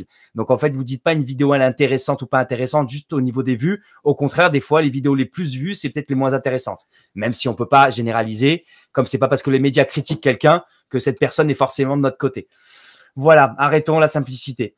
Euh, Joe, c'est un peu agressif, mais c'est important, je pense, que euh, d'y répondre quand même. C'est Julux qui dit euh, Pourquoi continuez-vous à inviter ce Joe que de sophisme, que de fake news Très déçu par le front médiatique? Donc, mais déjà. Hein. Je ne hein sais, pas pourquoi tu... sais pas pourquoi tu fais ça. Julius? Bah oui, pourquoi tu continues à inviter ce Joe Masso là? C'est vrai qu'à force, là. Des sophismes avec la Sophie. C'est la dernière fois que tu viens, enfin, du fois, la dernière fois pour l'instant dans cette série euh, autour de, l'opposition contre l'X euh, et de des USA. Euh, moi, je voulais répondre en fait parce que à la fois, quand quelqu'un me dit c'est des sophismes et des fake news, mais j'ai besoin d'éléments parce que moi, j'ai vu beaucoup plus de sophismes et de fake news, ou en tout cas ouais, si beaucoup plus euh, de personnes qui se disent soutenant euh, le narratif autour de Trump. Donc à un moment, c'est bien facile d'accuser les autres, c'est l'inversion accusatoire, hein, tout simplement. Donc moi, j'ai besoin d'éléments. Tu me dis, ouais, des sophistes, des fake news, mais quoi, concrètement, dis-moi. Et après, très déçu par le front médiatique, c'est ça auquel je veux répondre. Je vous le dis dans l'intro arrêtez de chercher des idoles ou des gens que vous que vous que vous adulez quoi. Moi je suis pas là pour ça. Je suis pas là pour vous faire rêver la nuit et faire que le matin vous avez espoir et que vous allez vous dire euh, le front médiatique Wakina, c'est des gens en fait on est rien, on est tous rien, on est tous euh, le, grand tout, on a tous le miracle de la création en nous, et à la fois on est des merdes, des grains de sable, des poussières d'étoiles. Donc arrêtez d'être déçus parce que quelqu'un pense différemment de vous. En fait, c'est même, moi je trouve ça même bien en fait que les gens pensent différemment de moi. C'est comme quand vous avez un pote qui vous dit quelque chose qui vous dérange, et ben en fait peut-être qu'il vient vous titcher quelque chose où ça fait mal. Donc en fait remerciez votre pote, quel courage de vous dire ce que plein d'autres potes vous diront pas. Comme un peu quand vous avez un truc au milieu de la dent, là. Il n'y a, que vos bons potes qui vont dire, ouais, t'as une bout de salade sur la dent. Les inconnus vont pas vous le dire. Donc voilà, excusez-moi, je digresse, mais arrêtez d'être déçu ou pas déçu par l'info médiatique. Suivez des médias qui vous plaisent, suivez des médias qui pensent pas comme vous, et après, libre à vous, quoi. Euh, arrêtons d'être dans, dans, le, dans, des, dans des jeux de, de relations euh, de dépendance affective, quoi. Euh, question de Fate 87. Franchement, Joe, bravo, car personne ne voulait aller sur ce terrain. Je voulais mettre ce commentaire en avant parce que c'est quand même euh, culotté, surtout que par exemple Sophie qui parle de Musk, elle est plus que respectable et je l'apprécie, je la connais depuis très longtemps, mais elle, elle a fait quand même le choix d'intervenir euh, visage euh, caché. Toi, tu fais le choix d'intervenir visage ouvert avec ta voix. Et ben, je voulais simplement te féliciter parce que ben, quand on est dans un dans une ambiance collective euh, même si voilà, tu es quand même intervenu il y a un an chez ICTV et là c'est en 2024 chez Front Médiatique, euh, je pense qu'en 2020 ou 2021 ça aurait été encore plus dur. Donc déjà quand même tu as eu l'intelligence d'attendre un peu, tu commençais déjà à le dire sur des réseaux, sur des petites vidéos, tu en as parlé, tu as semé des graines on va dire pendant 3-4 ans pour pouvoir aujourd'hui euh, aller de manière un peu plus frontale tout en étant bienveillant sur le sujet. Mais voilà, moi, ça me tenait à cœur de le dire et de valoriser ce commentaire parce que c'est important de le dire. Aujourd'hui, il y a beaucoup d'autocensure. Aujourd'hui, il y a des youtubeurs, des vidéastes, des médias indépendants euh, qui vivent aussi ou en partie euh, de leur production, de leur activité médiatique. Et bien donc, en fait, ils créent une dépendance économique avec leur communauté. Et en fait, potentiellement, ils vont pas dire des choses qu'ils ont envie de dire aussi. Donc, on s'autocensure tous parce que quand on est un mini personnage public, et ben en fait, on n'a pas envie que nos propos euh, soient repris par la justice ou servent à nous diffamer dans 10 ans. Donc, on est très prudent quand on prend la parole publiquement. Évidemment, il y a l'autocensure. Moi, quand je suis déprimé, je prends pas la, la, parole face caméra pour vous dire je suis déprimé, euh, le monde est pourri, on va tous mourir. Donc, euh, oui, il y a l'autocensure. Mais là, je vous parle d'un autre niveau où en fait, il y a des sujets où il y a des gens en privé, ils vont en parler et en public, ils vont pas en parler parce qu'ils savent que ça va, ça va froisser leur communauté, quoi. Et ça, pour moi, c'est quelque chose qu'il faut détruire c'est quelque chose que je respecte pas. Je respecte les personnes, mais je respecte pas ce type de comportement. Ça veut pas dire que je respecte pas la personne, hein, mais je combats ces comportements-là parce que quand on s'interdit pour des raisons euh, économiques ou quoi, en fait, de continuer notre travail de, de, de réinformation, de contre-propagande, et eh ben au final, on se tire une balle dans le pied parce qu'en fait, oui, s'auto-censurer parce qu'on est euh, une parole qui est enregistrée, qui est visible par des milliers de personnes, mais non à vouloir euh, se censurer sur un sujet pour ses intérêts propres, financiers et, et continuer à protéger son petit précaré euh, euh, avec sa communauté, quoi. Enfin voilà, je sais pas si Joe, tu veux rajouter quelque chose.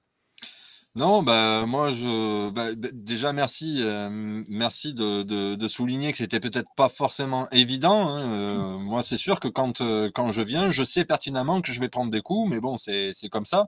J'ai envie de prolonger de, de, prolonger cette remarque bah, au front médiatique et à ceux qui ont relayé l'information.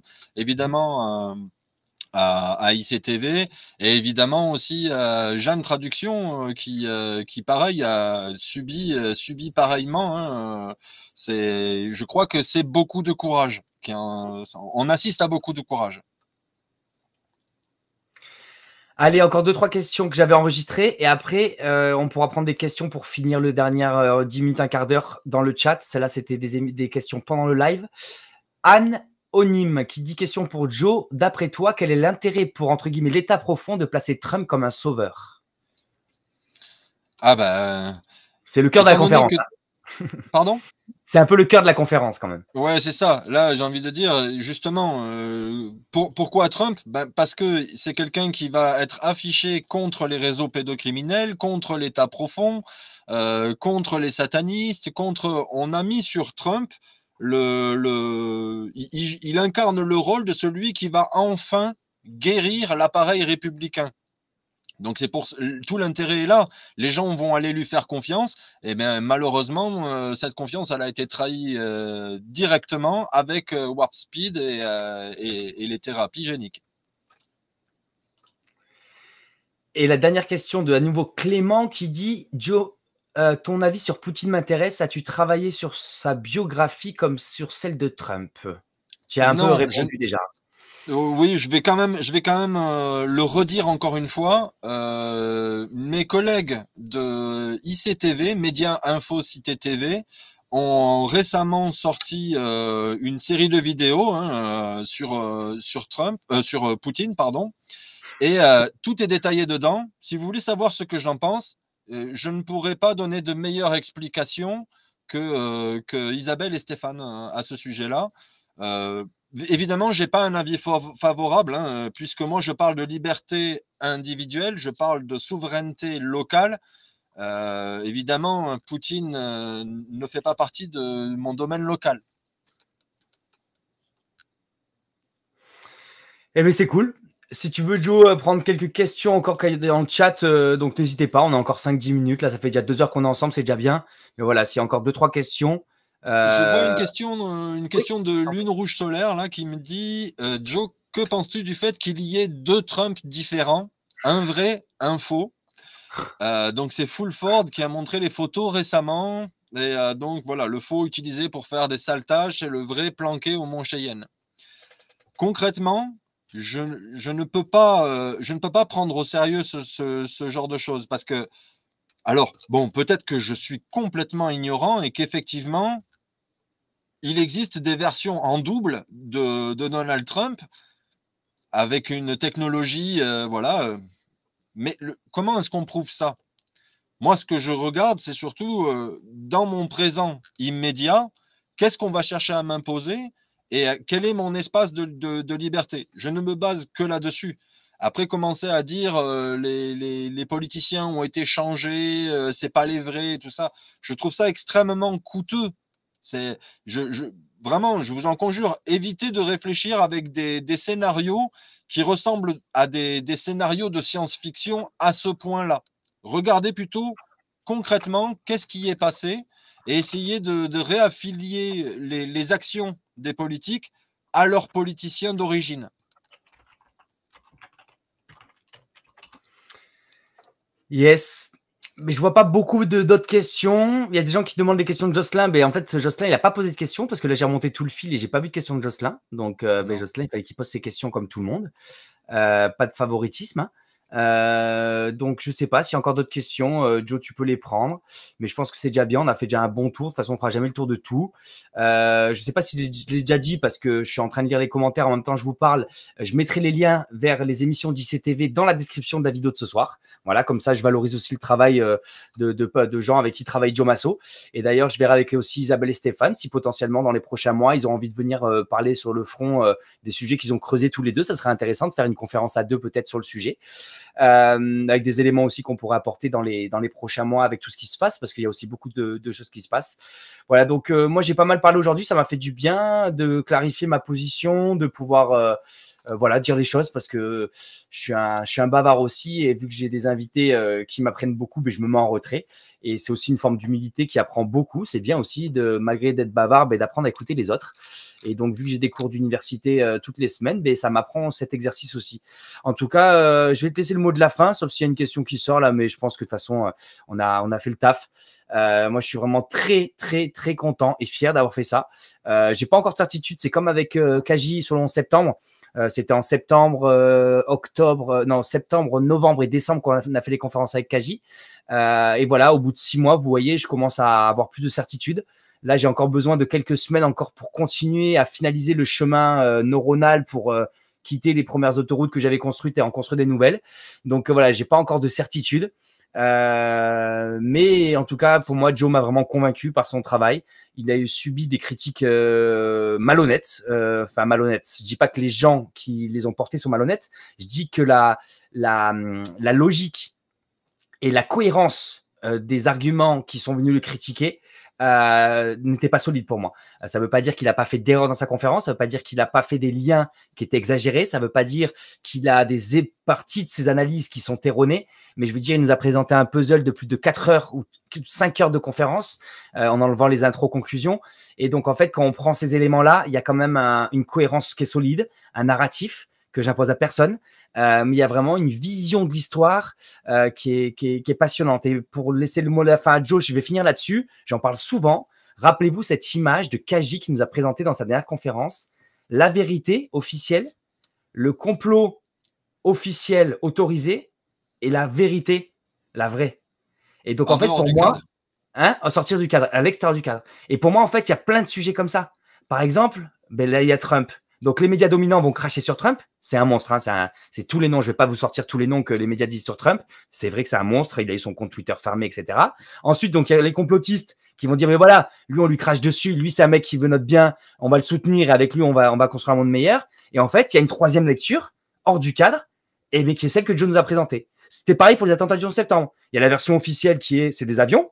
La version complotiste officielle, enfin officielle, la complotiste acceptée, autorisée, qui est la démolition contrôlée conventionnelle, et hors du cadre, les armes énergie dirigée. Et pour plein de sujets. Le climat, c'est pareil. Aujourd'hui, euh, tout le monde, euh, moi, je suis assez critique de la vision simpliste du réchauffement anthropique, mais il y a la vision dominante, c'est la catastrophe, les mers vont monter, c'est, enfin voilà, le réchauffement climatique, je vais pas vous l'expliquer, vous savez bien de quoi on parle.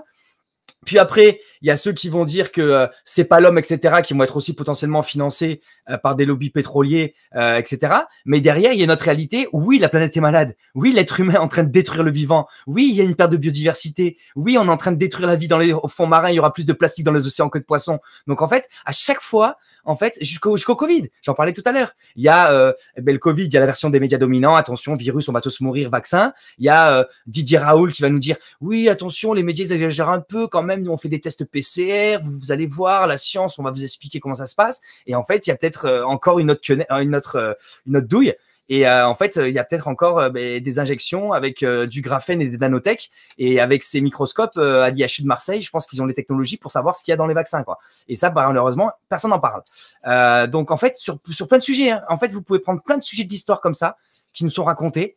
Et moi, c'est ce à quoi j'ai eu accès grâce à, à Sophie, je le redis, Kaji et Joe. Ces trois citoyens qui sont venus m'apporter des choses qu'aucun expert était venu m'apporter, ou en tout cas, ils m'avaient peut-être donné des bribes, mais j'avais pas eu l'intelligence d'esprit de comprendre les, les petites graines qui semaient pour pouvoir accéder à ce niveau de lecture. Et pour moi, je suis heureux aujourd'hui de, d'accéder à un troisième niveau de lecture, qui est pas forcément le dernier. Hein. Je vais peut-être en avoir d'autres qui vont émerger, comme le, la jambe de, de, de l'occultisme et de l'ésotérisme qui s'ajoute à tout ça. Mais voilà, en tout cas, pour moi, vous rendez, vous rendez compte que sur... Ah oui, un dernier, je l'adore celui-là. Ça, c'est Sophie qui m'a appris. C'est officiellement, on est allé sur la Lune en 1969. Puis grâce à, à Massimo Musuko, excusez-moi pour la prononciation, on a appris qu'en fait, sûrement, et d'autres documentaires, on a appris qu'on n'était pas allé sur la Lune. Mais en fait, Sophie m'a dit, mais peut-être qu'en fait, on est allé sur la Lune, mais pas avec des technologies que le grand public connaît, et donc, en fait, ben, la première version, on allait sur la Lune. La deuxième, on n'y est pas allé. Et la troisième, en fait, on y allait, mais pas comme vous pensez. Voilà, pour finir. Je laisse le mot de la fin à Joe. oui, là, après, euh, c'est l'accordéon. Euh, on, ne sait plus ce qu'on nous raconte. Mais justement, quand on sait plus ce qu'on nous raconte, eh ben, c'est le moment de se tourner vers les valeurs sûres et euh, donc ce qui est palpable. Et bon, ben là, la nature nous attend et euh, la spiritualité nous attend pour comprendre la nature. Donc euh, voilà, je n'aurai pas grand-chose de, plus à, rajouter. Yallah c'est parti, c'est fini. Merci beaucoup à la communauté d'avoir été là, vraiment, pour ces cinq épisodes. Hein. En tout, c'est près de, je pense, c'est 10 heures de programme qu'on a sorti avec Joe en, cinq semaines. Je suis fier de nous. Euh, fier du front médiatique, fier de Joe, je suis fier de vous, la communauté aussi, euh, qui avait accueilli, mais comme vous aviez envie. Je suis pas là pour vous dire si c'est bien ou pas, comment vous avez accueilli. En tout cas, dans la bienveillance, ça je peux me permettre de vous le dire parce qu'on est dans la maison du front médiatique, c'est un peu chez moi quand même. Merci à tous, je vous souhaite plein de belles choses. Euh, plein de bonheur, plein d'amour, plein d'espérance. On est vraiment, vraiment, vraiment dans la merde. Mais j'ai beaucoup, beaucoup d'espoir parce qu'il faut qu'on sorte les doigts et c'est ensemble avec nos jardins en, aidant des gens à aller ailleurs et en continuons à construire plus de souveraineté locale et à d'autres échelles, je sais pas. J'ai plein de questions avec vous, on y répondra. Allez, belle soirée, bisous Joe. Au revoir à tout le monde. Merci d'avoir suivi. C'était Joe Masso et Akina Médiatique. Belle soirée la famille.